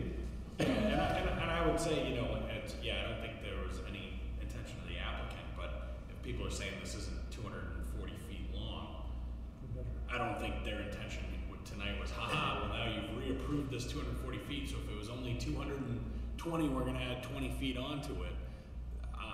They're probably assuming that because this was recorded and approved plan, that the town had them follow the approved site plan when they constructed it. I believe they. But they- it they should now measure- say existing instead of proposed. Right, that was my You next know. comment. There are a number of things that have to be changed because they're twenty years old. Uh, Not least these butters, but I mean, most of the time we let people out of a plan because of expense. You know, that it's a major expense to have it, but I don't feel that this would be a major expense if they went to the original person because all the groundwork's done.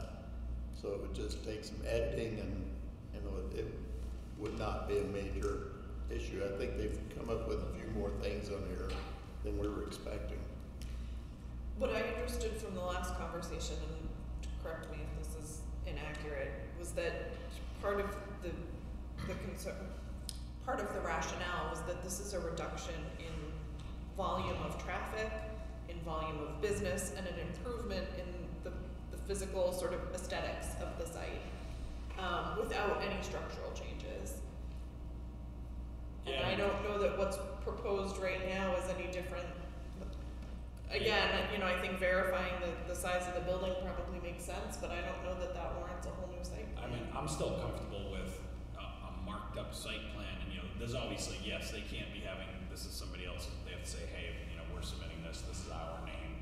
Uh, But, yeah, it, it's, it's one of those things, if somebody came in and said, hey, I wanna operate Safeway bus again, exactly the way it was with no changes, they can bring all the buses in there, park them all those vehicles all over the place, and continue as business was previously without any updated changes. So to force them to do a completely re-engineered site plan with stormwater management, but yeah, I think there's still more work that needs to get done to clearly delineate that, hey, this is what is existing, not what's proposed, fix some administrative stuff, but, and like I said, I don't think their intention was to steal anyone's work.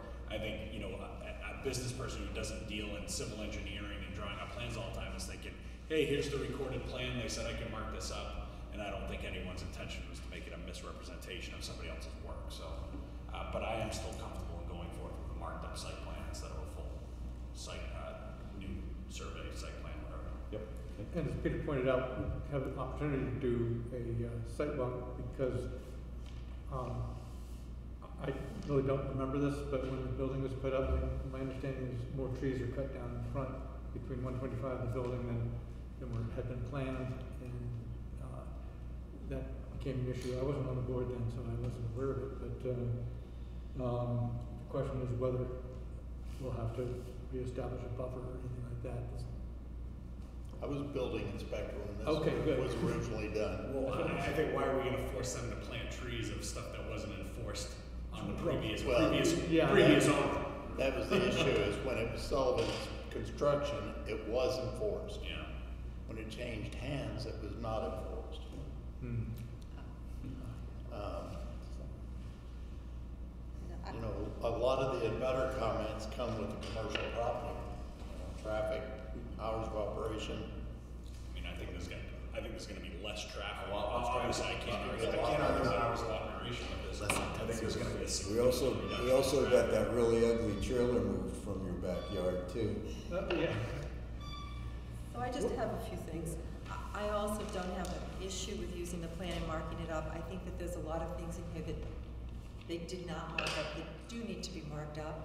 You know, the owner, the deed, you know, the current deed, um, uh, The abutters. the abutters for sure, you know, those kinds of things that they weren't thinking of. They were just thinking when they did this of their business and what they were doing with their business and not what was actually now in place with the plan because then this isn't their business. They don't do plans, so they wouldn't think of those things.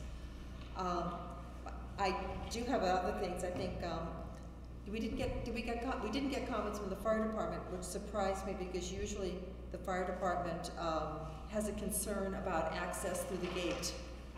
Well, if we put in So a, that's if we something. put in an automatic gate, right now it's just a manual gate, which Right. uh, it'd take three people to move, cause it hasn't been used in an age.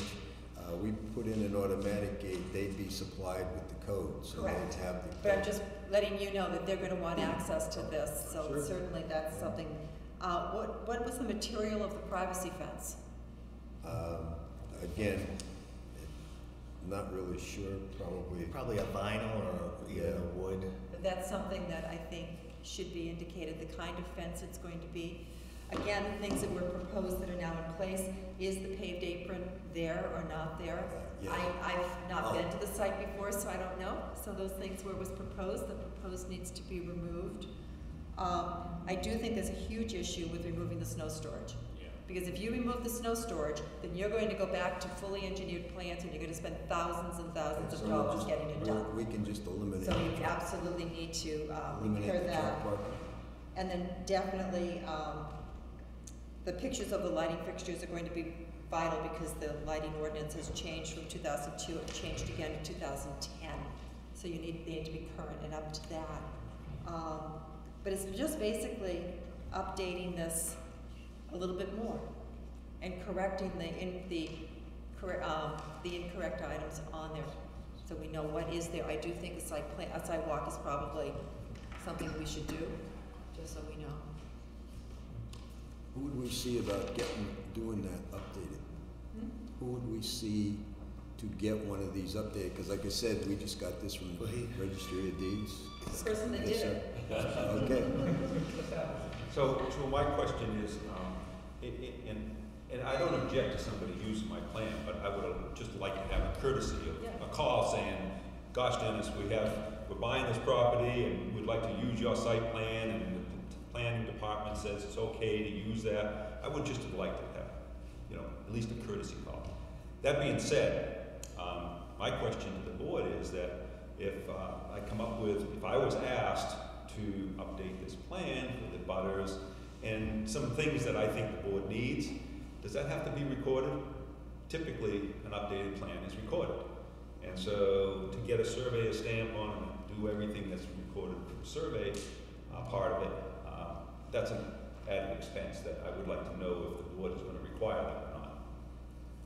Well, at the, at the time that the board discussed this and made the decision that an engineered plan was not required, um, unless they were to change their minds, then the answer would be, would be, uh, no at this point.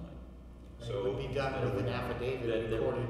An affidavit would be But it recorded, would- but it not. would reference this plan. Yes. An updated site plan would reference this, but would that updated site plan have to be recorded? And if it did, I would need to know that if I was asked to update the plan. Well, based on the board's decision earlier, uh, the answer is no. Okay, well, that's, that's good. I just need to know that so that it would be uh, certainly a lot less of an expense to the applicant if I was involved doing that. So if the applicant hasn't gotten the, the, uh, the concept of this, uh, Dennis, as a civil engineer, is the one who drafted the original plan. That's his, that's his stamp on it. Your phone number hasn't changed in twenty years. Hasn't- Dennis. hasn't changed. So if, if, if, if you were wanting to talk to someone who could perhaps assist in updating the plan, uh, I think you know who to contact. He's the guy. And, and back to the fence again, not only are we, are we going to wanna know the material of the fence, but also the height of the fence, so we know if that's going to better protect the abutters than what's there now. Well, the actual, yes, okay. Yeah, just that kind of information. Yeah, and I think even just a a handwritten note on your, on your lighting, even if you were to put on there, or if you talk to Dennis, you know, it's gonna say it must comply with all dark sky lighting or the town's light, current lighting ordinance as opposed to anything which grandfather or anything new that you add, so. So you're almost there. And I think, um, something we should address, and that, something that came up at the ZBA, which was, um, some of the abutters had a comment about the self-storage units. We've seen a lot of them go in up and down one twenty-five recently.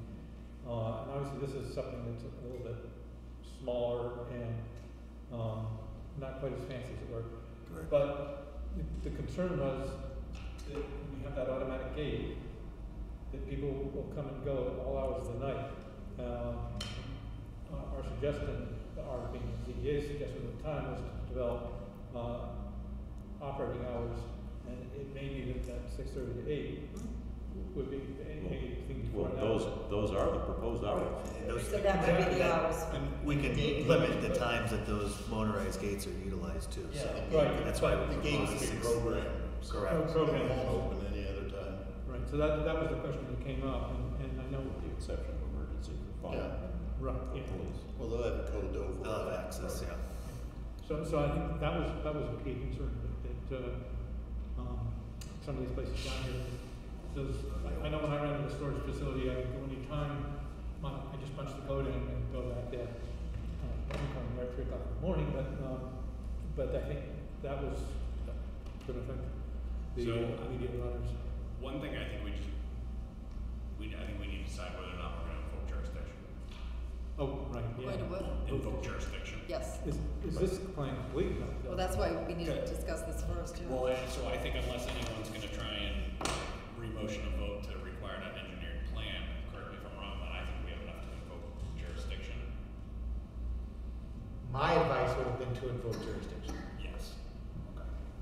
I'll make a motion to invoke jurisdiction. Second.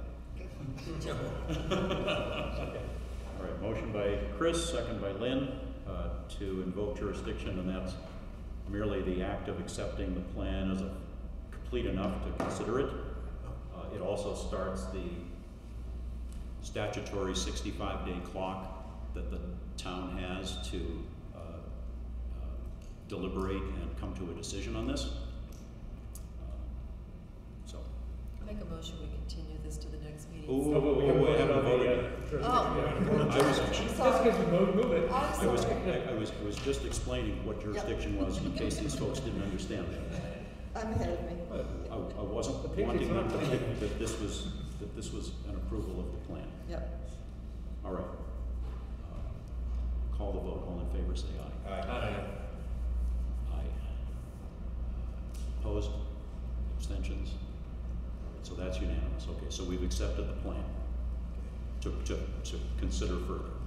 I think before we do this, we Yeah. should ask if he's got enough information. If what? Before we move to, to continue, uh, I think we should make sure that the client knows what he needs, what we feel he needs To do to this. to, to do to this, to make it complete. So, based on the discussion that we've had here, um, do you feel you have enough information to proceed with an update of this, whether you work with Dennis or whether you do something else? Yeah, I think that would be, this, we can work with, with, uh, Mr. Quintal. Well, That's, that's, that's up to you guys. I'm, Yes, I'm- oh, I, to get a new, to get this updated the way it's supposed to be. Because, because one of the board members is ready to make a motion to continue this hearing to another, to a future meeting, at which point you'd have the chance to bring an updated plan. There'll be a list of, we'll give you a list, uh, probably in writing, Okay. that will tell you what we need on this plan. Okay. Hence, your name, Right. not the other name. Yes. Things like that. Yes. Office clerical stuff. Okay. You don't wanna get rid of the snow, things Yes. that, we're gonna, we're gonna have, uh, requirements that you need to have fulfilled before the next meeting. Yeah. But you'll have that list. Okay. So Lynn, before you, Quick question, so, so Matt purchased this building already. Is he able to operate out of the warehouse with the current hours? well, it's a different use though. No, It's a different use, well, Technically. But, I mean, unless someone else feels differently, or the board feels differently, the answer is really no, you can't. So he couldn't even store anything or do anything there? Peter? I'm just, I'm just trying to think of uh, other, other situations we've had where businesses would, would, would go in similar, as far as this is a business, and they're just storing stuff versus not working on cars. So it's similar, I, I believe, in my thought, this is probably gonna be going forward, we just need some clerical stuff taken care of. If he's purchased and he bought this place, I don't see where there's a reason why he can't store garage doors in it. He's just using it for storage. It'd be similar to uh, alternative sales, we granted permission to store stuff. Correct. Because they couldn't get Guspazi to finish it. The, the issue would be then if you start bringing trucks in and out to take the oh, stuff we out. we can specify, I mean, we can clarify that to him. Storage but- only, he needs to move from his other location. Yeah, I mean, his question was, you know, I got the uses approved by the planning board. If they don't, you know, if things go, if they wanna table this conversation tonight, why am I not able to use my property to park my vehicles inside this non, you know, impervious pavement? Nothing's gonna be, you know, to go back to a couple of points, nothing's gonna be, you know, going in, seeping into the ground. Why can't I use this, this warehouse of mine? So I just wanna be able to relay that back to him. Yeah, I mean, I would just say they, they obviously can't do any of the proposed changes Yeah. that they have. You know, it's, it's, Start it's a building, they're gonna just be using the interior of the building. so the new, But they can't put in the automatic gate, they can't put in the fence, you can't wall Right. off anything. No change. No change. Can't have dumpsters No, until no. you bring That's some not work worth site. it. yeah, no, nothing changes for the current use. Correct. Nothing before Including seven, time. nothing after five. That's the current thing. Correct. That's fine. So, until this gets all met. Yeah. And for the record, I'm opposed to that because I think that i- it's a, it's a slippery slope, it's a really creepy thing, creeping thing, and, uh, it could become a selectmen's enforcement issue, uh, big time. But obviously the board, majority of the board feels comfortable with it, so. And, and I understand that concern too, but that I was kind of looking at it from a different point. If they just came to us and said, hey, we're gonna start by, we're looking to just start using this property, same hours, same everything, we're just gonna storage in the building. They started doing that, and then they came with an amended site plan, they'd still be doing, it'd still be following that same pattern. And, and that's kind of what I was thinking. And now there's four trucks there instead of Yeah. twenty buses. Buses. Yeah. Okay. So, Need a date for a so continuation. Oh, you've got, so you've got that, well, Yeah, before you do no, that, No, though. no, no, is there gonna be a site Well, walk? that's the question, that's, that's my next point, is that we don't wanna continue this until we decide on the site. Thank you. Thank you, Glenn. Not to add one more question to that, do we need to vote on the use? No. It's already been No, approved. It's that's just what's been proposed. approved and we're fine, Zoning okay. board already approved that. Okay. Oh, that. There was a variance granted, a use variance. It was, What's the date that to we both, said for both uses. And that, and that ought to be noted on the plan, that should be another thing. I'm, I see, I'm looking at this completely different from you. I'm looking at this as an affidavit attached to this plan, which would include all that information. Okay. Why would the aff, the affidavit All right, would deal okay, with all the right. new hours of As operation? long as it's were- someplace. Um, so it's, it's, it's, the, the, the goal isn't a new plan, but in fact an affidavit adapt attached to this plan. Understood. The continuance would be to the fifteenth of February, so the site walk has to be before that. Uh, the 29th is, um, deliberative session, so it can't be that Saturday. It'd have to be like this. Either this one or the fifth of February. I think it's gonna, I mean, uh, if he's gonna have an opportunity to get plans and back to us Yeah, by I the think date that they're due. The idea is we can get. Well, to- that was for the continuance, we're just talking for the site. Well, I mean, Sooner the site walk. better on the site walk, because anything that comes up can be noted on the plans. We really want this earlier. Are the owners of the prop, will the owners of the property be back by Saturday? I'm sorry, Will what? the owners of the property ret- return by Saturday?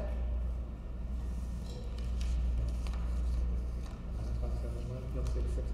Saturday suits me. This Saturday? Yeah. I mean, I think the sooner the better, so it gives them a chance to Right. put anything that we say on the plans. What time? Won't be here, Eight thirty? not gonna be in time. About nine. It's gonna be bitter cold, so it's gonna be bitter cold at eight and bitter cold at noon. So it doesn't make any difference. How about, how about nine a, Nine. Nine AM on the Twenty-second. twenty-second? Be about ten Uh, degrees. is that enough time to notice? This is. Oh. This is the This is the notice. Be about ten degrees. Nine, nine AM. But we will post it. We will post Yeah, it. it will be posted. And the gate's open. Just need a few more seconds.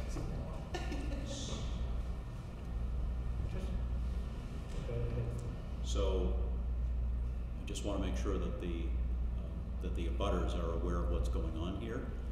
Um, The board is discussing the scheduling of a site walk, which, uh, assuming that they vote to do it, uh, is considered a public meeting. It's not a public hearing, it's a public meeting, so it's not a, it's not for the purposes of taking testimony from abutters, but abutters are welcome to, uh, to participate and join in on the site walk. Okay?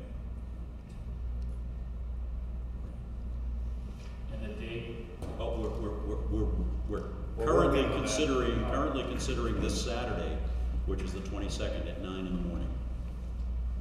So Is there a motion to that effect? I'll, I'll move that we have a site walk, uh, at the subject property at nine o'clock Saturday morning, the And the twenty-second. applicant can be there, yes? Yes. Okay. Or, Second? Motion by Peter Coffin, second by Lynn, to hold a site walk at this property on nine Main Street, uh, at nine AM on January twenty-second, which is this coming Saturday. Discussion?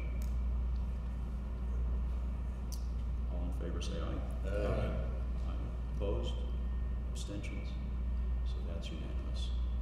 So that's a set date now. Uh, it will be posted, it will show up in our normal posting places and the website, I I believe believe. it'll get on the website as well, yeah. Probably not until Thursday, but yes. And if you know of other abutters, uh, who weren't here tonight, but who might want to participate, if you could share that information with them, that would be helpful. Now, Lynn. So, well, the next question would be, can a plan be completed by, or if we, if we continue this to February fifteenth, which is our next hearing night, plans need to be in by February fourth at noon. Or February third, Tuesday? Thursday, Thursday. February third, February third at noon.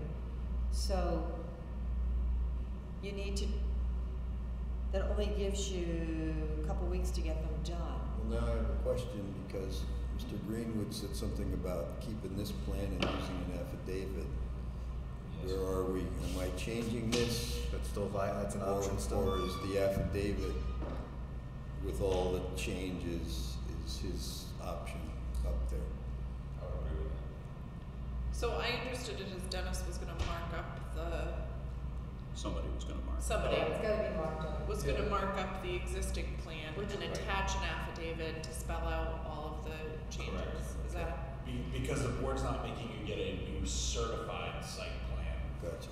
So even if, even if Dennis didn't update, it would still be referencing this plan with an affidavit. If my So where does that understanding leave us? Both things.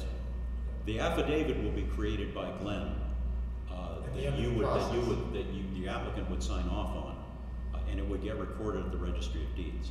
The updated physical plan would, uh, just be held here at the town hall on the property file and in the planning board file, it wouldn't get recorded at the registry of deeds.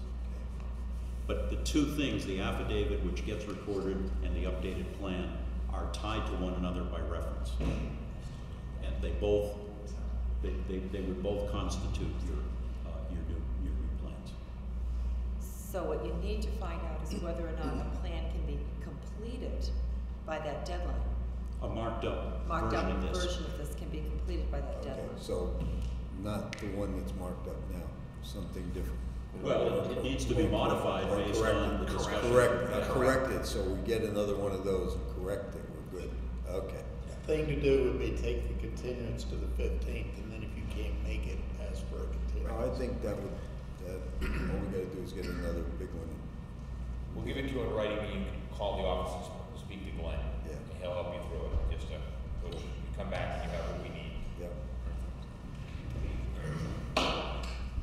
Okay, Lynn? Are you, Make a motion, we continue to February fifteenth with plans due to the planning board office by noon on February third. Second. okay, motion by Lynn, second by Richard, to continue this hearing to February fifteenth at six thirty or six forty-five? Uh, Six- February fifteenth, yeah, that's okay. Six- Pictures are gonna be taken on February first. I don't know, I don't have the sheet to say if we have anything else booked at that, on that date, but it doesn't matter because we don't schedule Everything at time. six thirty, and then Correct. we don't have to sit here and put our thumbs. It's just that we have to continue it to a time and date certain, so that everybody knows, the public knows, you know, the So board six, knows. six forty-five, February fifteenth.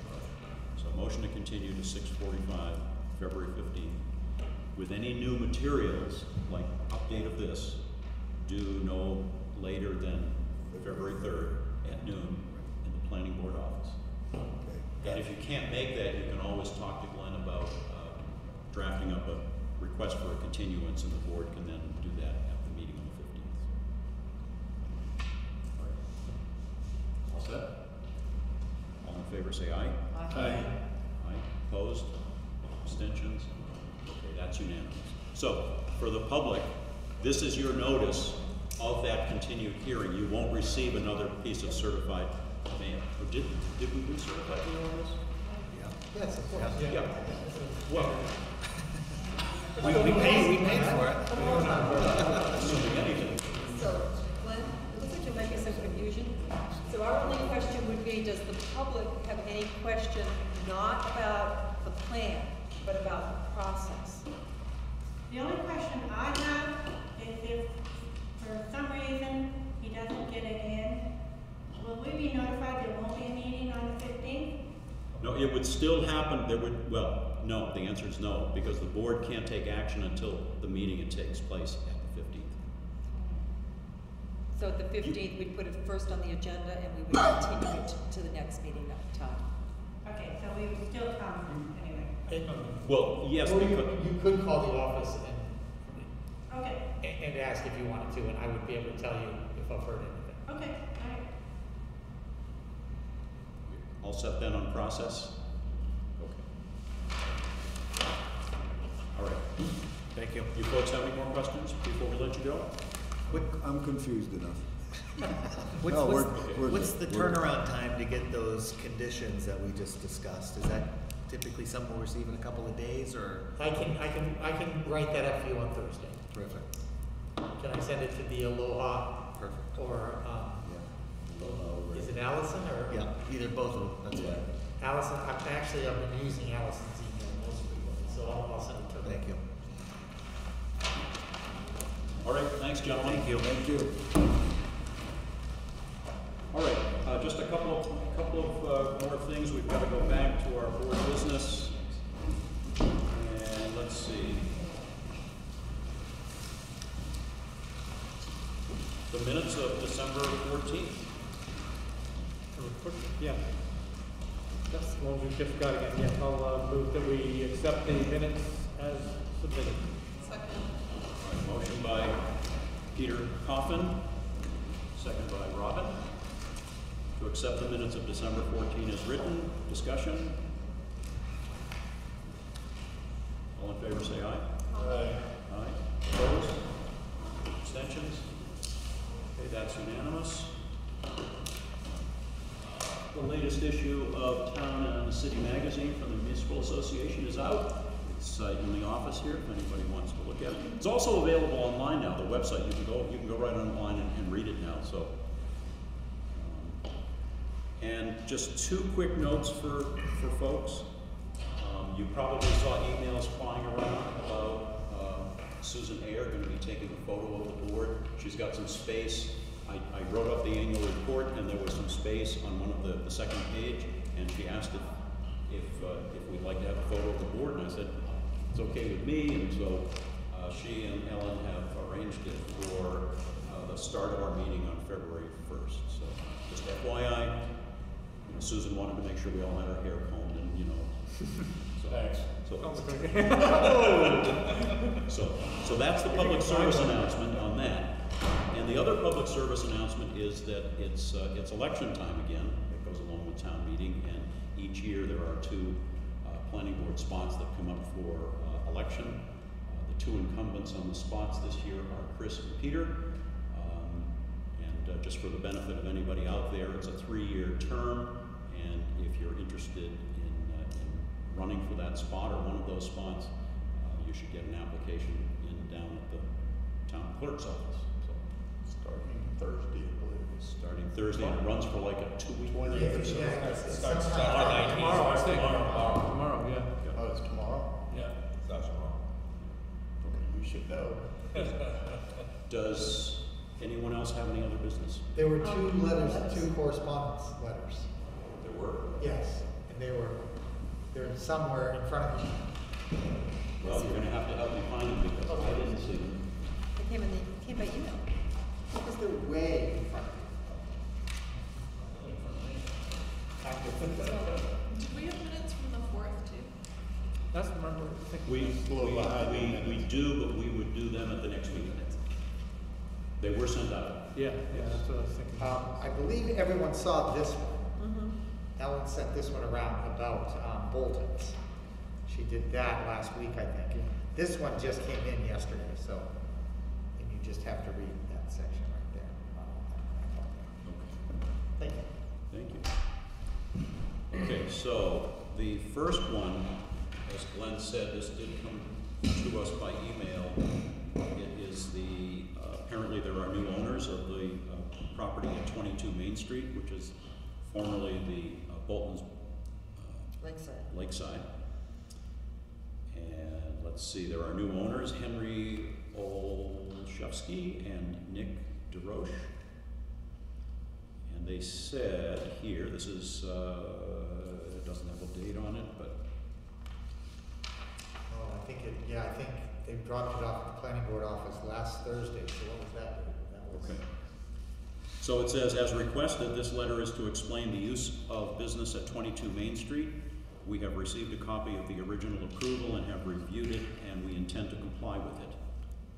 The Draft House Lakeside Bar and Grill, formerly known as Bolton's Lake House.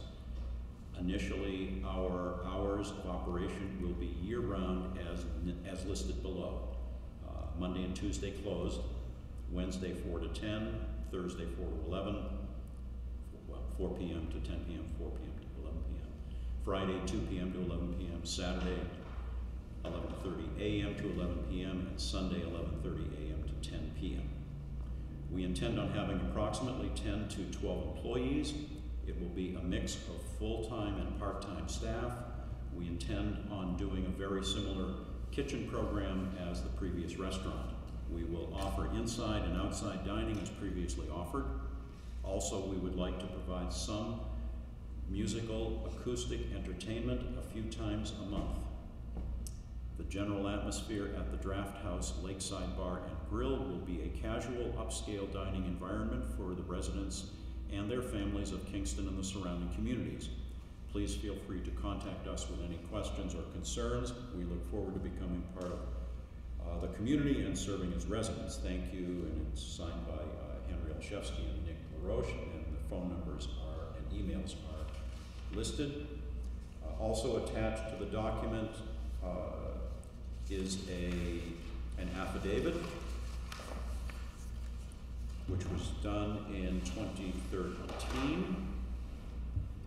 Um, And this was related to the stormwater management, uh, well, actually, a couple of things. The planning board met with the applicant, owner Gary Hammond, on May 21, 2013, to consider an expedited site plan review to address issues at the site prior to opening. Uh, The board voted to accept the proposal for an expedited site plan and discussed various issues regarding the parking lot, area for outdoor tables, lighting, etc. The proposal was approved with hours of operation Monday through Sunday, seven AM to ten PM year-round. In addition, the agreement was reached, an agreement was reached that includes the installation of a dry well for stormwater management that will be installed and maintained per best management practices. This work is to be accomplished by September thirtieth, twenty thirteen.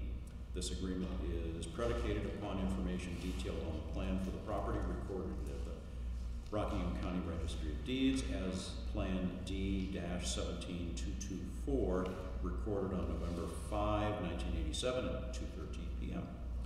Signed by the then Planning Board Chair, Richard Wilson, and the applicant, uh, Gary Hammond. And then there are a section of minutes from, looks like March 18 of 2014, when the following owner uh, had a conversation with the board, and that was uh, Mark Heights. And uh, let's see. Asking to construct a patio. um, Have received variance for setbacks, uh, lot coverage and special exception for the shoreline. Um, Mr. Wilson confirmed the board had received the paperwork from ZBA. Mr. Height stated the site is currently approved uh, to operate from seven AM to ten PM, seven days, and he's asking to expand those hours uh, to close at eleven PM on Thursday, Friday, Saturday, and the remaining days the same, remaining the same. Uh, Mr. Greenwood stated that the plan notes reflect the hours.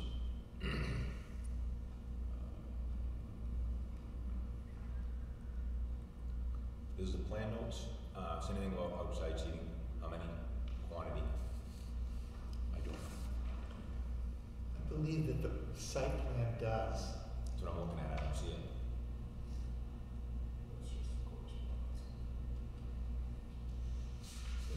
I think the only issue we, I can think of having is music. I would think we wanna specify that it be indoors. Because I can remember the sessions we had here about outdoor music at that site. Yeah. And how it carried across Kingston Lake and people were all upset. Would they still be allowed access through the special event permit? Mm-hmm. Yeah. So, just Do need it to for one. So whatever, whatever came to the resident, I don't know, did we ever end up resolving that and it be finalized, or was it something that was currently authorized and never got fully addressed, and they're saying they want to abide by exactly what was allowed? It was never authorized. Never authorized. That was, that was, that was the issue. Okay, I, I, I just don't know, I can't remember how it was officially resolved. Yes. Well, I, I, I think it was left in limbo, I think there was complaints made. There was But it complaints never made, was- never authorized, and, Till uh, the I cease and believe, desist. what the, uh, Mr. Heights went to the town council to ask, and basically reported back here that, uh, he felt it was part of his business, and, uh, But what official action did the town ever take? the town never took it.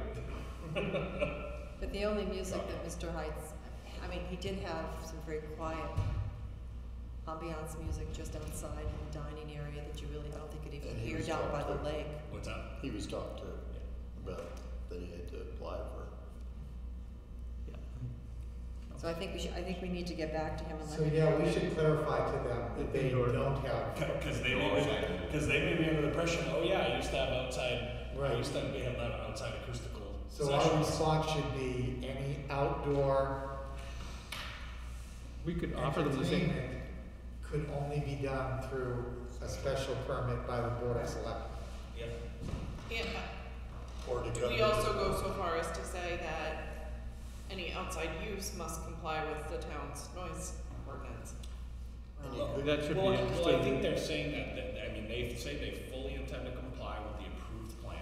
Right. I just think it's worth noting that in case anything was conveyed to you that outdoor acoustical music sessions used to occur here, please note that that was not an approved, an approved use in the site plan, but it is an option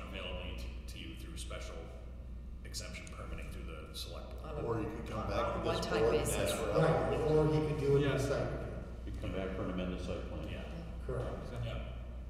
But I, I just, cause I, we know how this goes, be like, well, I heard it used to happen, and somebody has pictures of them out at Yeah. outdoor events. All right, going I on. will, I will, I will make that response to them.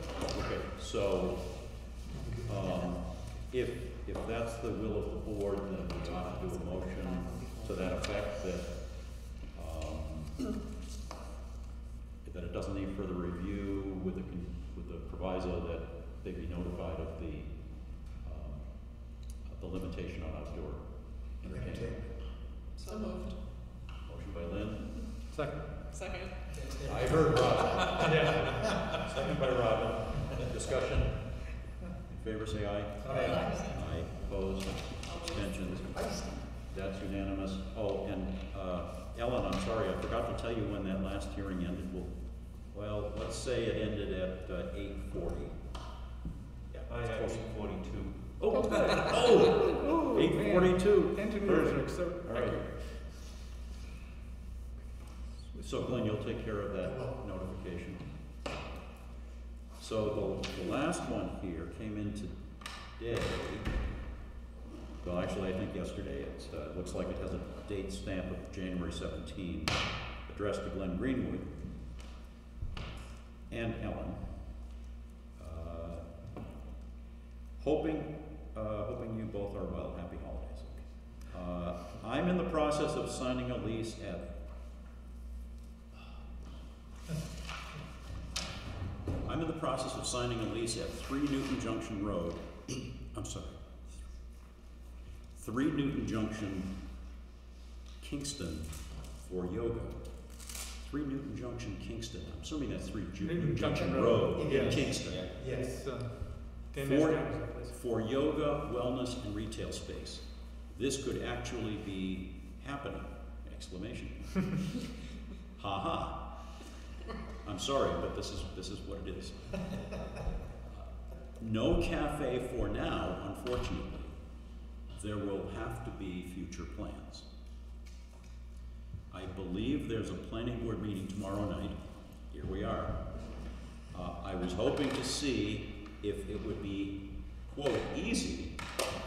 Oh, Oh, you haven't played it. So nothing's easy. Nope, there's the answer.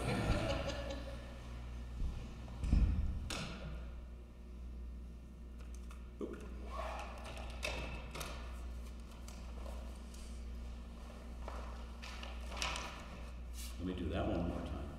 I was hoping to see if it would be, quote, easy to do a change of use, question.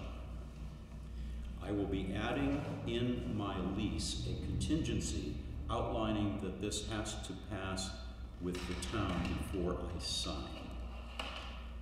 And it's signed Joy, it's Joy Quest LLC is the business, doing business as the Iron Cactus. Use of the property is yoga, wellness, and retail, which includes cards, candles, blankets, yoga cloths, and jewelry. Number of employees, four. Uh, number of customers or clients at one time, twenty. There are enough parking spaces with handicap. Doesn't say what they are, but it says there's enough. Hours are Monday through Saturday, six AM to seven PM, Sunday, seven AM to two PM. There will be no hazardous materials on site. I will comply with the site plan, no changes. Is there a site plan for this already? There is. It would just be well kept secret. This is family pools. You know where family pools but was, is. It's not a yoga place. No, no, no, no, no, no. She- And that's, that's why she's proposing All right, this. okay. So let me just finish here and then the board can chat. Thank you. Um, let's see. I do know a business occupancy permit will be required. Signage, I will use the existing sign placement on the property. I will have a design with my business name and submit that once complete. Glenn, do you have anything to add? Um, well, very little. This, this is the, this is the woman who originally was hoping to put this yoga facility down at, um, Reynolds. yeah, Reynolds, Reynolds RV. Um, and we, I think she did an expedited site plan or something, and we approved her to go in there, but boy, that just didn't work out. And so she's asking about this site, which is Three Newton Junction Road. It's the site where Family Pools is, but I believe she intends to use the building that looks like a residence on the, So, I need to recuse myself because I represent the lessor. But I will tell you, she, she plans to rent, um, the unit where derailed, uh, clothing store was. So family pools will continue. Yeah. yes, fam- because Family Pools is in another building. Right, so the, the, yeah, Yeah, she's gonna, she wants to go where derailed was, in the, in the, what's the? what's in the house building, Yeah. first floor, part of the first floor. So the question for us then To is, Is, additional site plan review required for this use? I think she's got some different things to look at. Yeah. She's got probably septic, She gonna have septic issues? septic issues, she's gonna have a fire department stuff. Going from retail, Bathrooms. people in and out to twenty people, clients there. I guess. I don't know. Well, the- I guess, I think we go massage system. Or is it just? Dennis has knowledge on the septic. No, we just asked about the septic system. I, I, I know that we maximize the septic system for the size, and we just have to take a look at it with the number of people that they're proposing at one time to see if that would be, uh, something that they would have to take a look at, but I wouldn't know until I looked at that. If it's part of a review, or, or if you want me to take a look at it, let you know, I can do that. was the septic system installed Yeah. when the older house was taken down? So that was I apartment mean, you house? have any, Yeah. In apartment, no, not like a little story one, you know, all those. Apartment house and it had the store. I think it happened, you Well, yeah, that's the question, is, is, it's, that's a, kind of a duplex house. And before Dan brought it, bought it, Dan and Strand bought it, it, um, was all residents. And then, uh, Pam put the well-kept secret in, No, it was a daycare center. Play and learn. but, uh, be- First, oh, but first it before, was, before welcome. first it was a nursing home sort of thing, and then it was a daycare center, and then it was a well-kept secret. Secret. And then they sold it to family pools. Yeah, and then, but the left side of the house, as you're looking from Newton Junction Road, as you're looking south, has always been residential, and the upstairs, um, uh, above Well Kept Secret was residential, and I believe it still is, and with the, uh, the, There's an apartment on the second floor, there's an apartment in the back on the east side of the building. Right. I can take a look at the septic plan and work with Richard, the health officer, and if it's okay with him, then I would think, it would- I would think, as far as the septic is concerned, I would think it would be okay with the board. If that's the only issue. right, and then there's the change in use is the other thing. I'm, I'm not sure it's the only issue. I mean, it's a, it's an issue, yeah. My experience of driving by, there's only two or three parking spaces that the family pool uses. The rest of the cars park out in the back of the building. And there's probably twenty spaces. Yeah, there's No, at least there's that. I think I counted twenty-three, twenty-four. Yeah. There would be twenty customers or clients at one time. Pre- And if it's a yoga studio, presumably, some of those come together. Maybe. I have very little experience with yoga other than in my family and they go together. I can't give an answer on this tonight without some research, septic wise. So my other question would be that if they're gonna do yoga and they have a class of twenty people, how long does the class last? Out. So how many hour of twenty people could they have in the course of a day? Ten hours? If lucky, yeah. Could have Times several, 20 people? could have several classes, and then you've probably got overlap of parking and cars, because people are gonna come early. I'm, I'm looking at the septic. Well, what, well, So there could be four hundred people there in the course of a day then, right?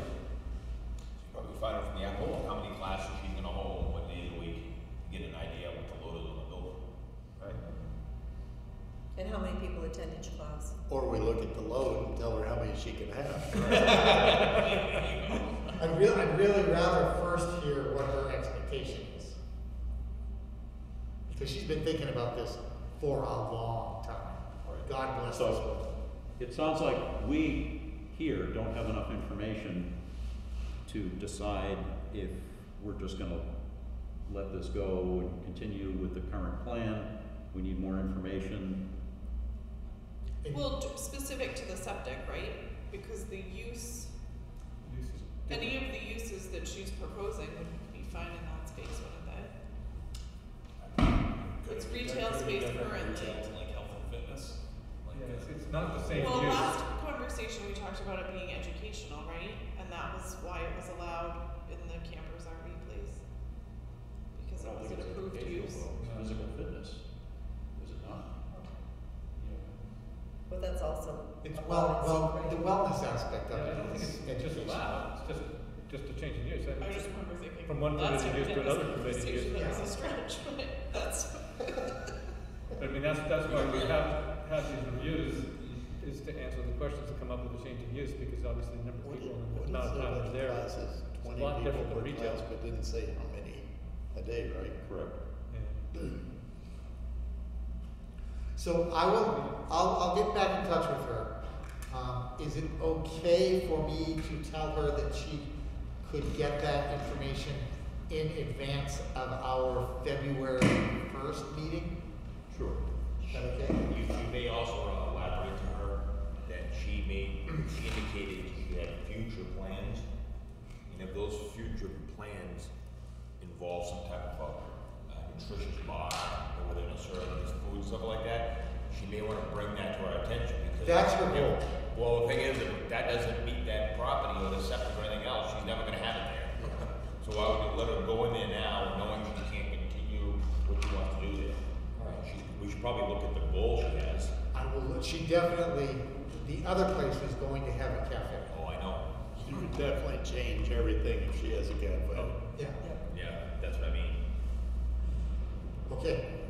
The only other thing I wanted to mention to the board was, is it okay for us to have two discussions on February first? Right now, we don't have anything planned on February first, but We- Dana Right. would like to go over the, we've, the new aquifer maps. Um, and the Economic Development Committee that has recently been started in Brentwood would like to talk with the planning board about potential cooperation. And so it would be, um, a couple of members of that committee, one of which is, uh, one of whom is Darren Wyndham, and, uh, either the chair or vice chair of the committee.